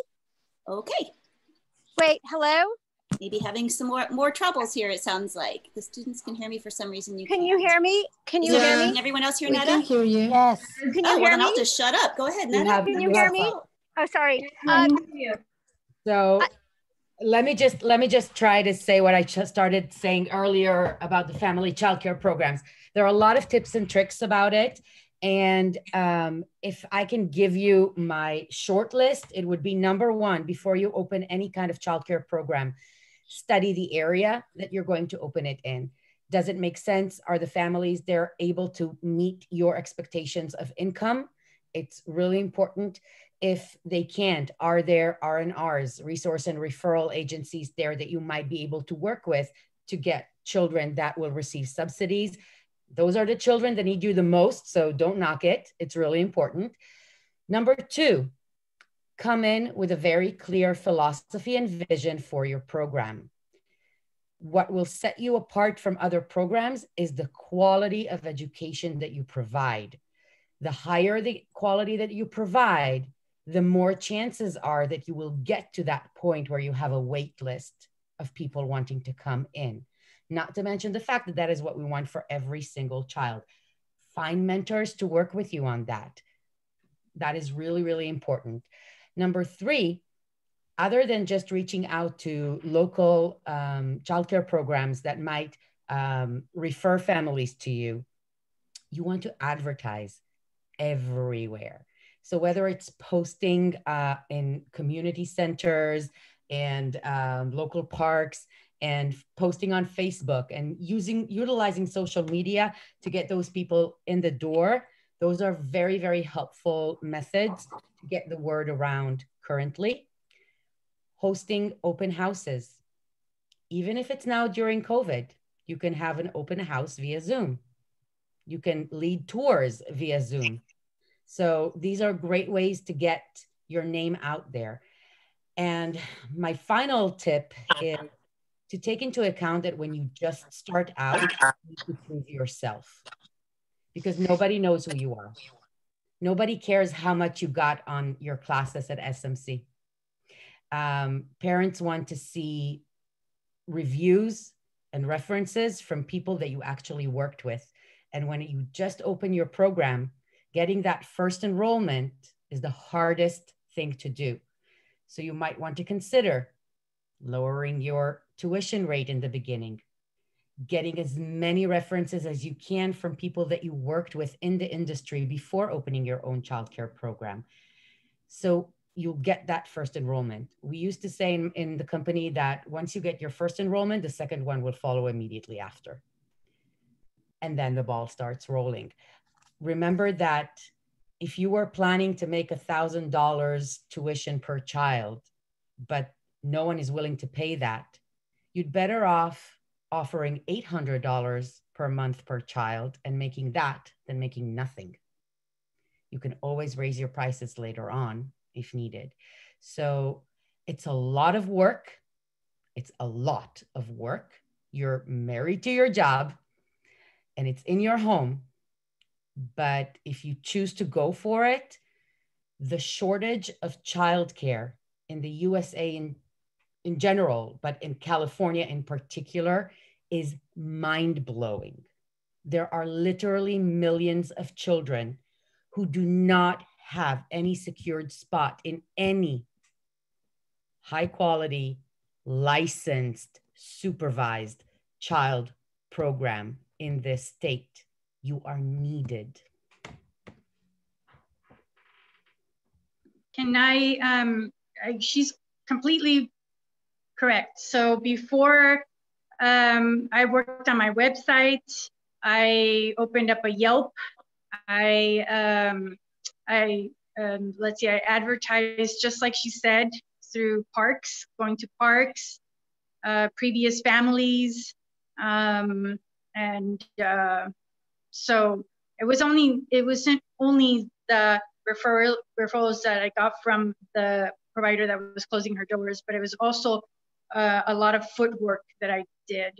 So um, you know, flyers, um, flyers at coffee shops, going to the breast, the what it was called, the um, breastfeeding pump place. Sorry, I don't know the word of the place, but you know, new mommies, seeing them at the park, and hey, you know, I'm, I'm, my name is this. This is what I'm doing. This is how long I've been a childcare uh, in the early childcare um, as a as a teacher. Da, da, da, da, da. I'll have an open house on this day through COVID right now, um, the um, the open houses I'm doing is um, when the children all leave. So Monday through Friday, after my after after all children leave. So that's 5:30 on, or even on the weekend. I was doing a lot of um, a lot of uh, tours on the weekends at the beginning. Um, and she's correct. You are married.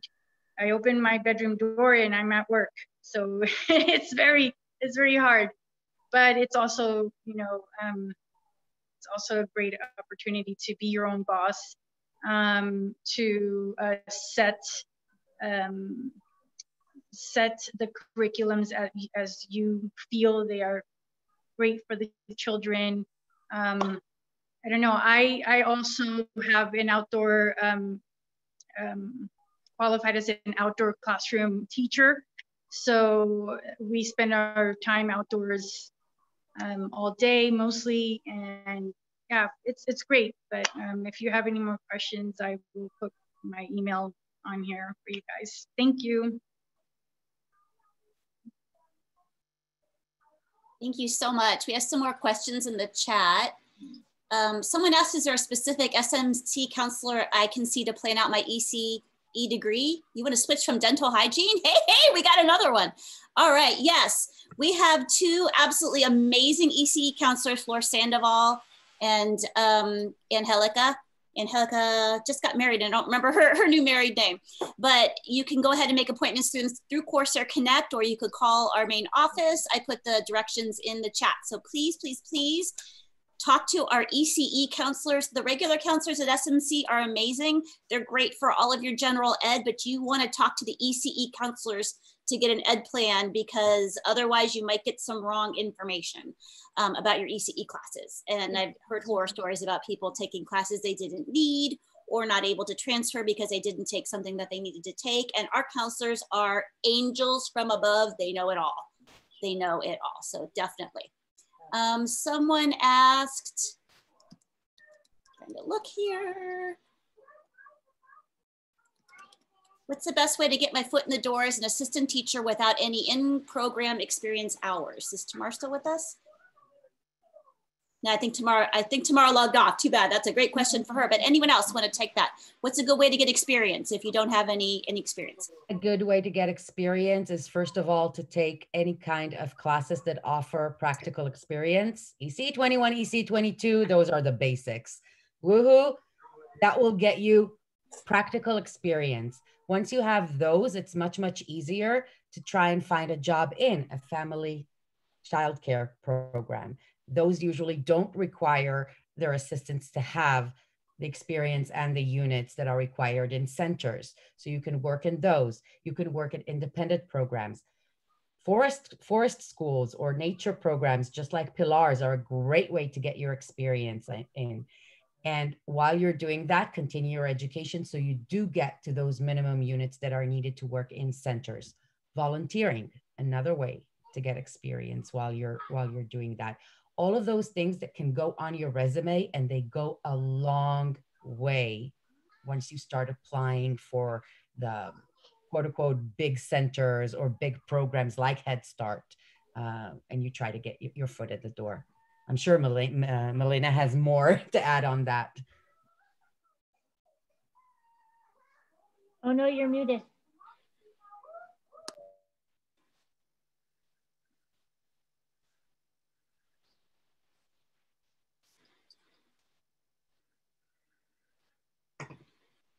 Melina, did you want to add on to that?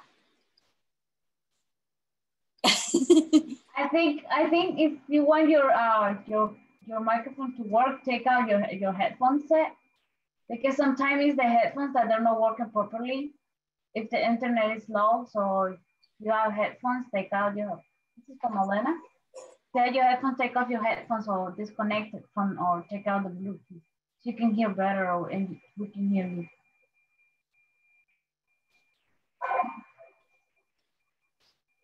My coworkers say that the headphones work better. Is this better? yes.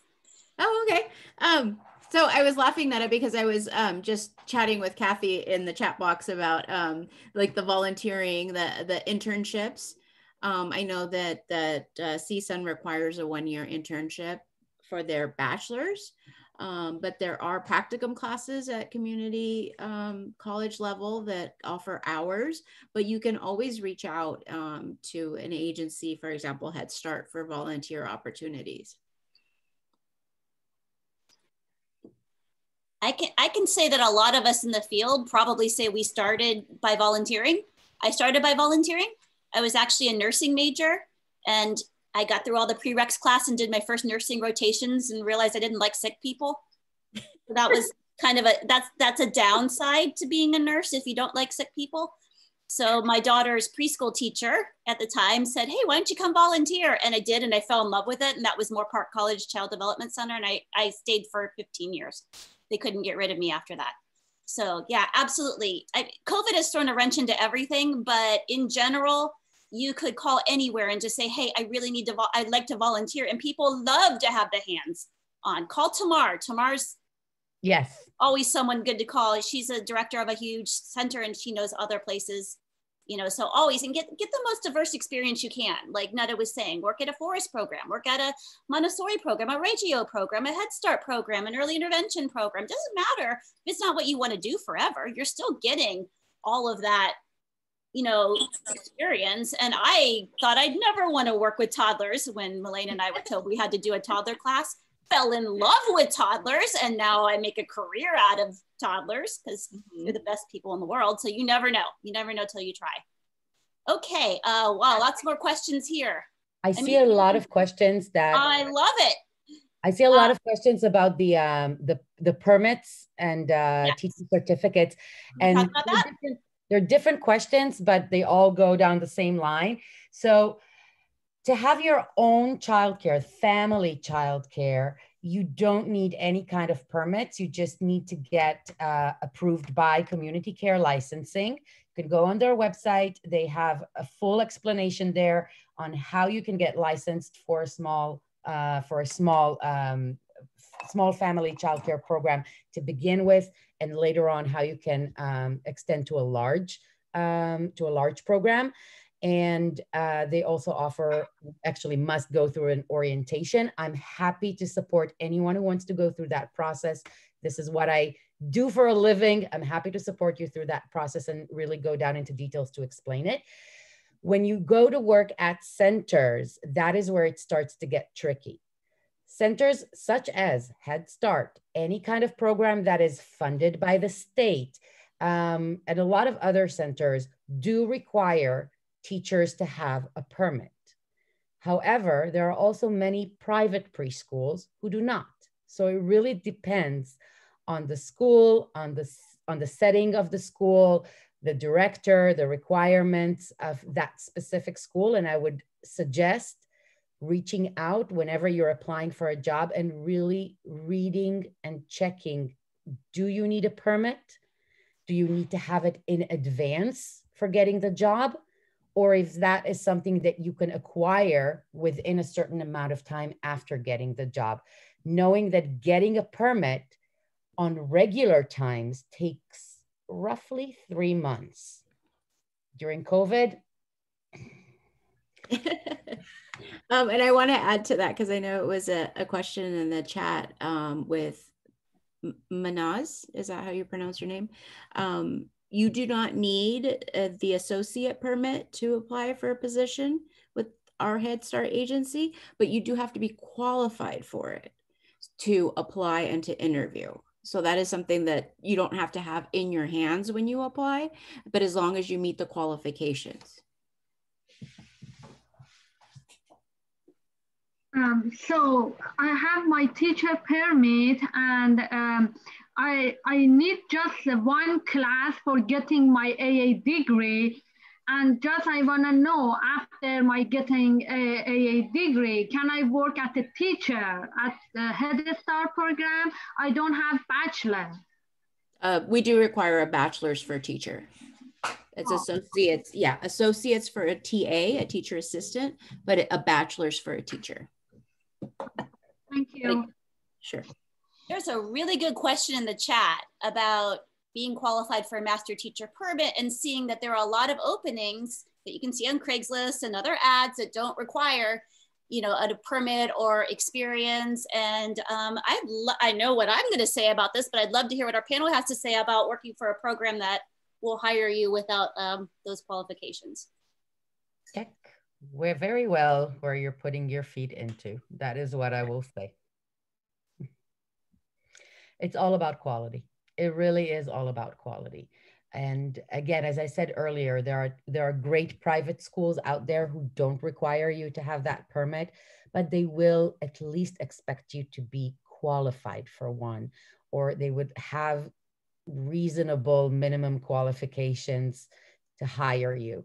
Um, if they have no such requirements and they will literally hire anyone, I don't know if I would want to work there. Yeah, and I just, you know, to, to not to avoid the question, um, just like I said earlier, really surround yourself with the people that that you admire, that that you that are living what you want to be. Um, so if you and I know that like taking a job is is sometimes not a luxury, um, but just keep that in mind that that you need to surround yourself and build that community of where you want to be.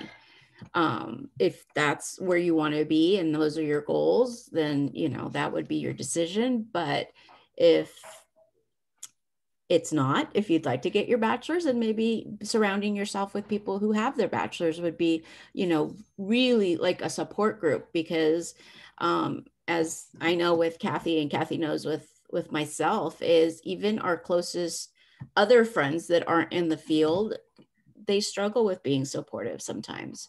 Um, you know they don't necessarily understand the journey that, that we're on so really find that that group of people for yourself that's gonna that's gonna encourage you and to you know re-energize you when you when you get tired and frustrated and you know there are setbacks which there will be.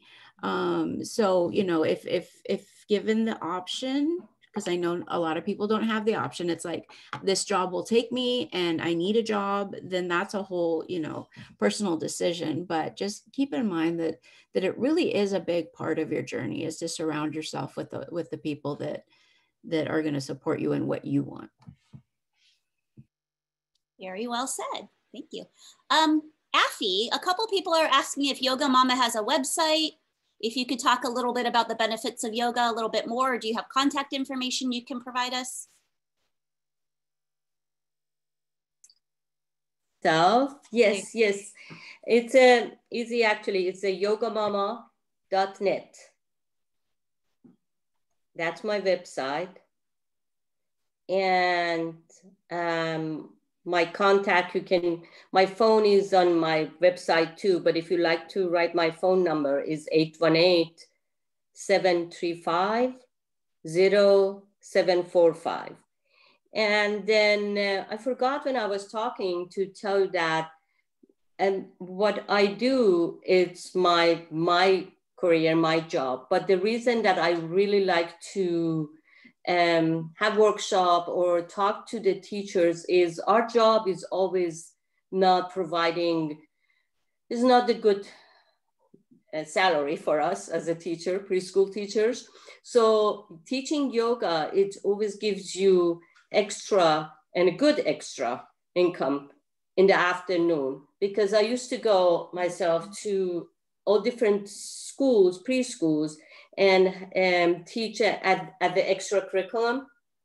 And then I give a, a, certificate. So you can become, you don't need to become a yoga teacher, certified yoga adult teacher. You can have certification as a yoga um, uh, teacher for children with your background of uh, uh, teaching um, or the degree in a child development. And when you go to different schools, preschools, you can always say that, okay, here is, this is a program, I can uh, offer it, and then go and teach yoga to different school. And it was really and a good income for me uh, back then um, to different preschools. And there are so many after program and even elementary school. I taught so many years in elementary school, the same thing that I teach children, young children, it can be open up and extended to their uh, age appropriate.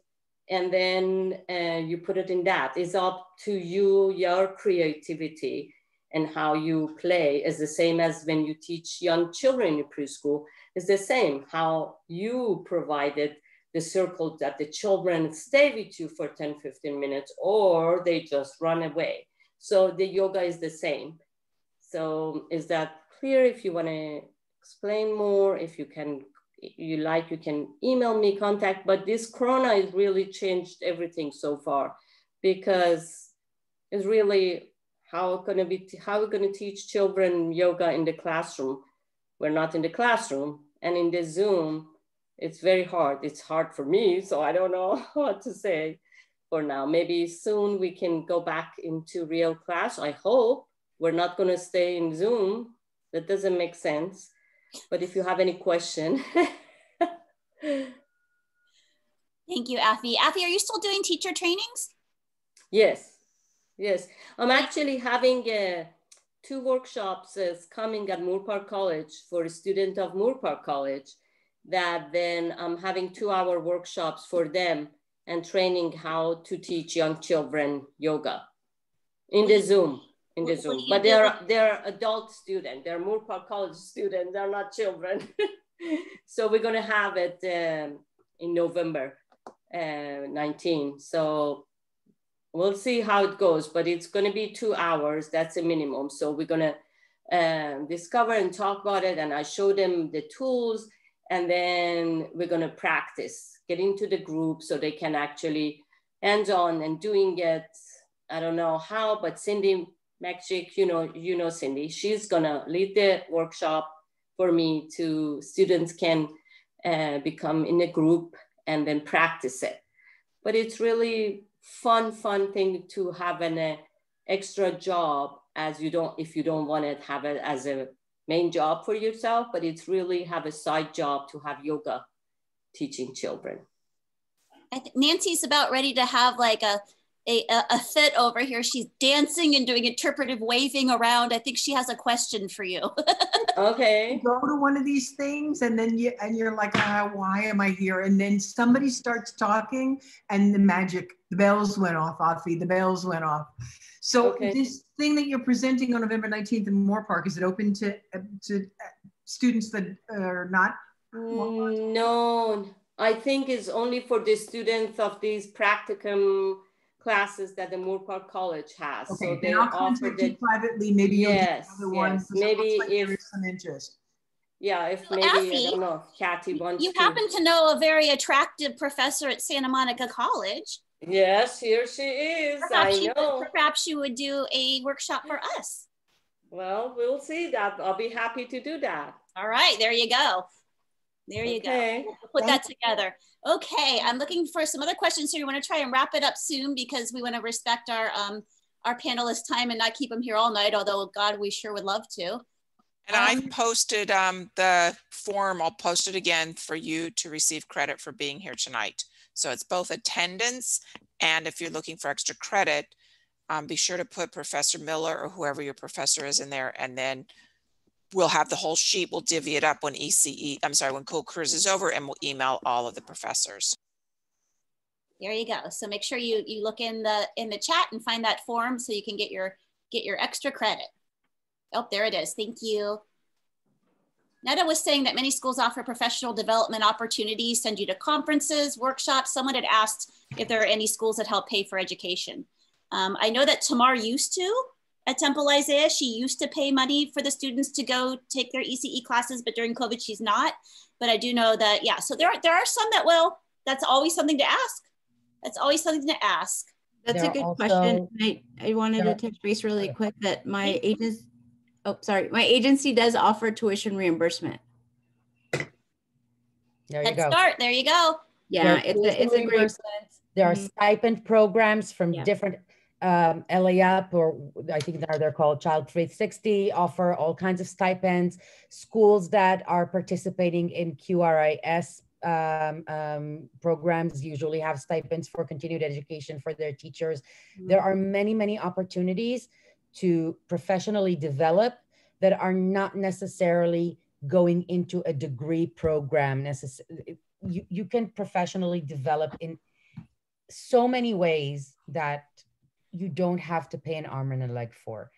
And if you just keep your ears open ask questions seek those people who know what's going on in the industry you will find those opportunities to grow. It's out there. It's at your reach. It doesn't have to be a $30000 degree. No, it doesn't. Um, so we do offer um, tuition reimbursement. Um, and then I'd also like to share that as a home-based educator, um, I've gotten the chance to attend conferences in um, Chi- Chicago, uh, Philadelphia, um, DC, um, a week, you know, seven-day trainings in in Berkeley. Um, there are agencies out there that will support your professional development, and I personally, you know, consider that a, a selling point. So um, I guess the best advice that somebody has given me is don't don't see who will hire you. That you want to see who you want to work for. That, that's such a great advice. And I wish Amanda was still on, Amanda, who, my daughter, um, where she works. You know, the pay is pretty competitive, but the benefits are incredible. She works for Patagonia and they are a social justice organization as well. And they actually have a legal fund if you get arrested for protesting. so things like that, which is hilarious. They have um, reimbursement like for clothing there. They get a huge discount for clothing. So, I mean, there's just, there's sometimes there's perks that you might not know about. I used to work for a center that paid for us to go to conference every year. So there are things like that for sure. So always look into it. I also just put the link, Professor Charlene put the link in here earlier, but I put the link in here for the Child Development Training Consortium. So you can do, if you are working in a center and taking classes, you might qualify for a reimbursement. So definitely check that out. I put that link in there. Okay, I'm gonna see if there's any other questions before we Kathy, I have Yes. a question. I'm sorry. go for it. Don't be sorry. Just asked. Is Uh, it Jennifer? Hi, Jennifer. Hello.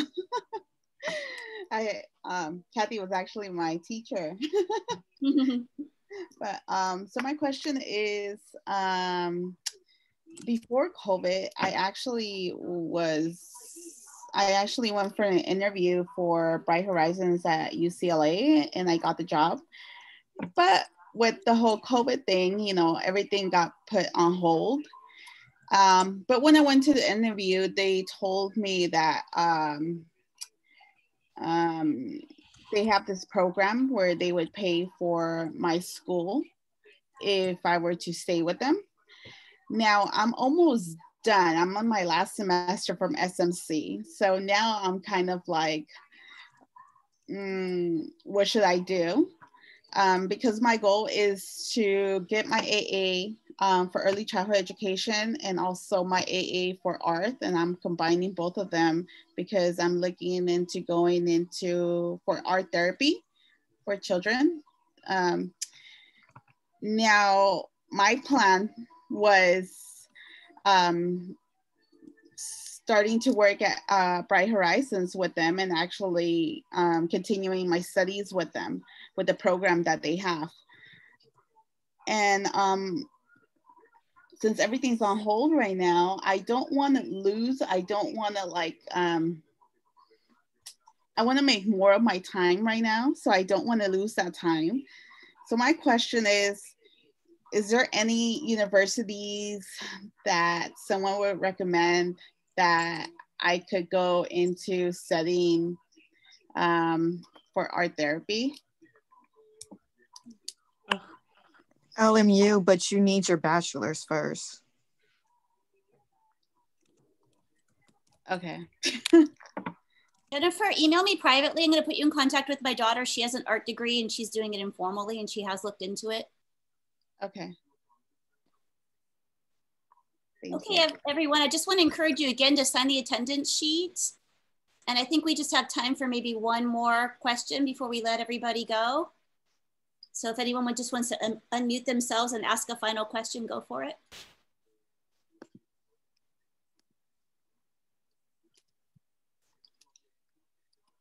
Kathy, can I share what I was speaking with you earlier? Share it in the chat. Share it in the chat. Yeah. Okay. Yeah, thanks. Any other questions? Yes, Professor Miller, where's the um at the attendance sheet? I don't see it you look in the chat, Vicki Rothman sent it to everyone. There's a there's a link right there. And she just put it in there again. So you just click on that link. I have a question. I've heard a lot of you say that you um, went on to get your master's degree. Was that in earlyhood child um, education or was it in another um, area as well? That way you could still kind of move around a bit because um, I was looking into elementary education, but I didn't know if that would just limit me to only the classroom. Uh, we could all just say what we got it in. My master's was in educational psychology with emphasis in early childhood education from CSUN, and my PhD will be in um, something different, interdisciplinary studies with a focus on early childhood. I got a master's in teaching English as a second language. That was K to 12, and a master's in sociology and education. Um, and then I took a few um, child development courses at um, UCLA Extension to supplement that. I um, I uh, have a bachelor's in early childhood education, and um, later I just took any additional class that could have gotten me to my goal. So, administration classes, adult supervision and mentoring. I took classes on um, special working with children with special needs. I really tried to to to get my hands into all kind of every every piece of information that I could, even if it didn't get me to another degree. Um, I'm currently thinking about my master's and trying to decide my own uh, my own path. And I have to say that in general, I see two paths, and this is what I speak with a lot of my uh, mentees. You can go after your bachelor's and become an expert in one particular niche. So you can start with a child development degree or uh, early childhood education and then narrow it down until you have that one niche that you become an expert on. That is one way to go for it. The other way, which is what I personally go for, but to each their own, is to start with whatever it is you started with, but then starting to expand. So for me, I know that when I take my master's, I don't want to do it in a very, very niche area of being an expert on one thing, but I want to expand and open as many doors as I can. So I'm thinking about, you know, uh, doing a, a leadership, educational leadership, or something that would really open my horizons and open doors where I could continue to advance. Um, but I think ultimately it really depends on what is it that you want to be when you grow up. When I grow up, even though I am not as young as I used to be, I want to have as much experience as possible, but that's me. But if you want to become an expert in something, then you need to draw that path and narrow it down into that. It's very true. All right. Well, thank you so much to our panel and for all the wonderful questions tonight. I'm, I don't know, did we break the record, Vicki? Did we get the most people here? I think we were we were over 80 at one point. Yes, at one point you got to 90. Early childhood for the win. All right. Thank you again for everybody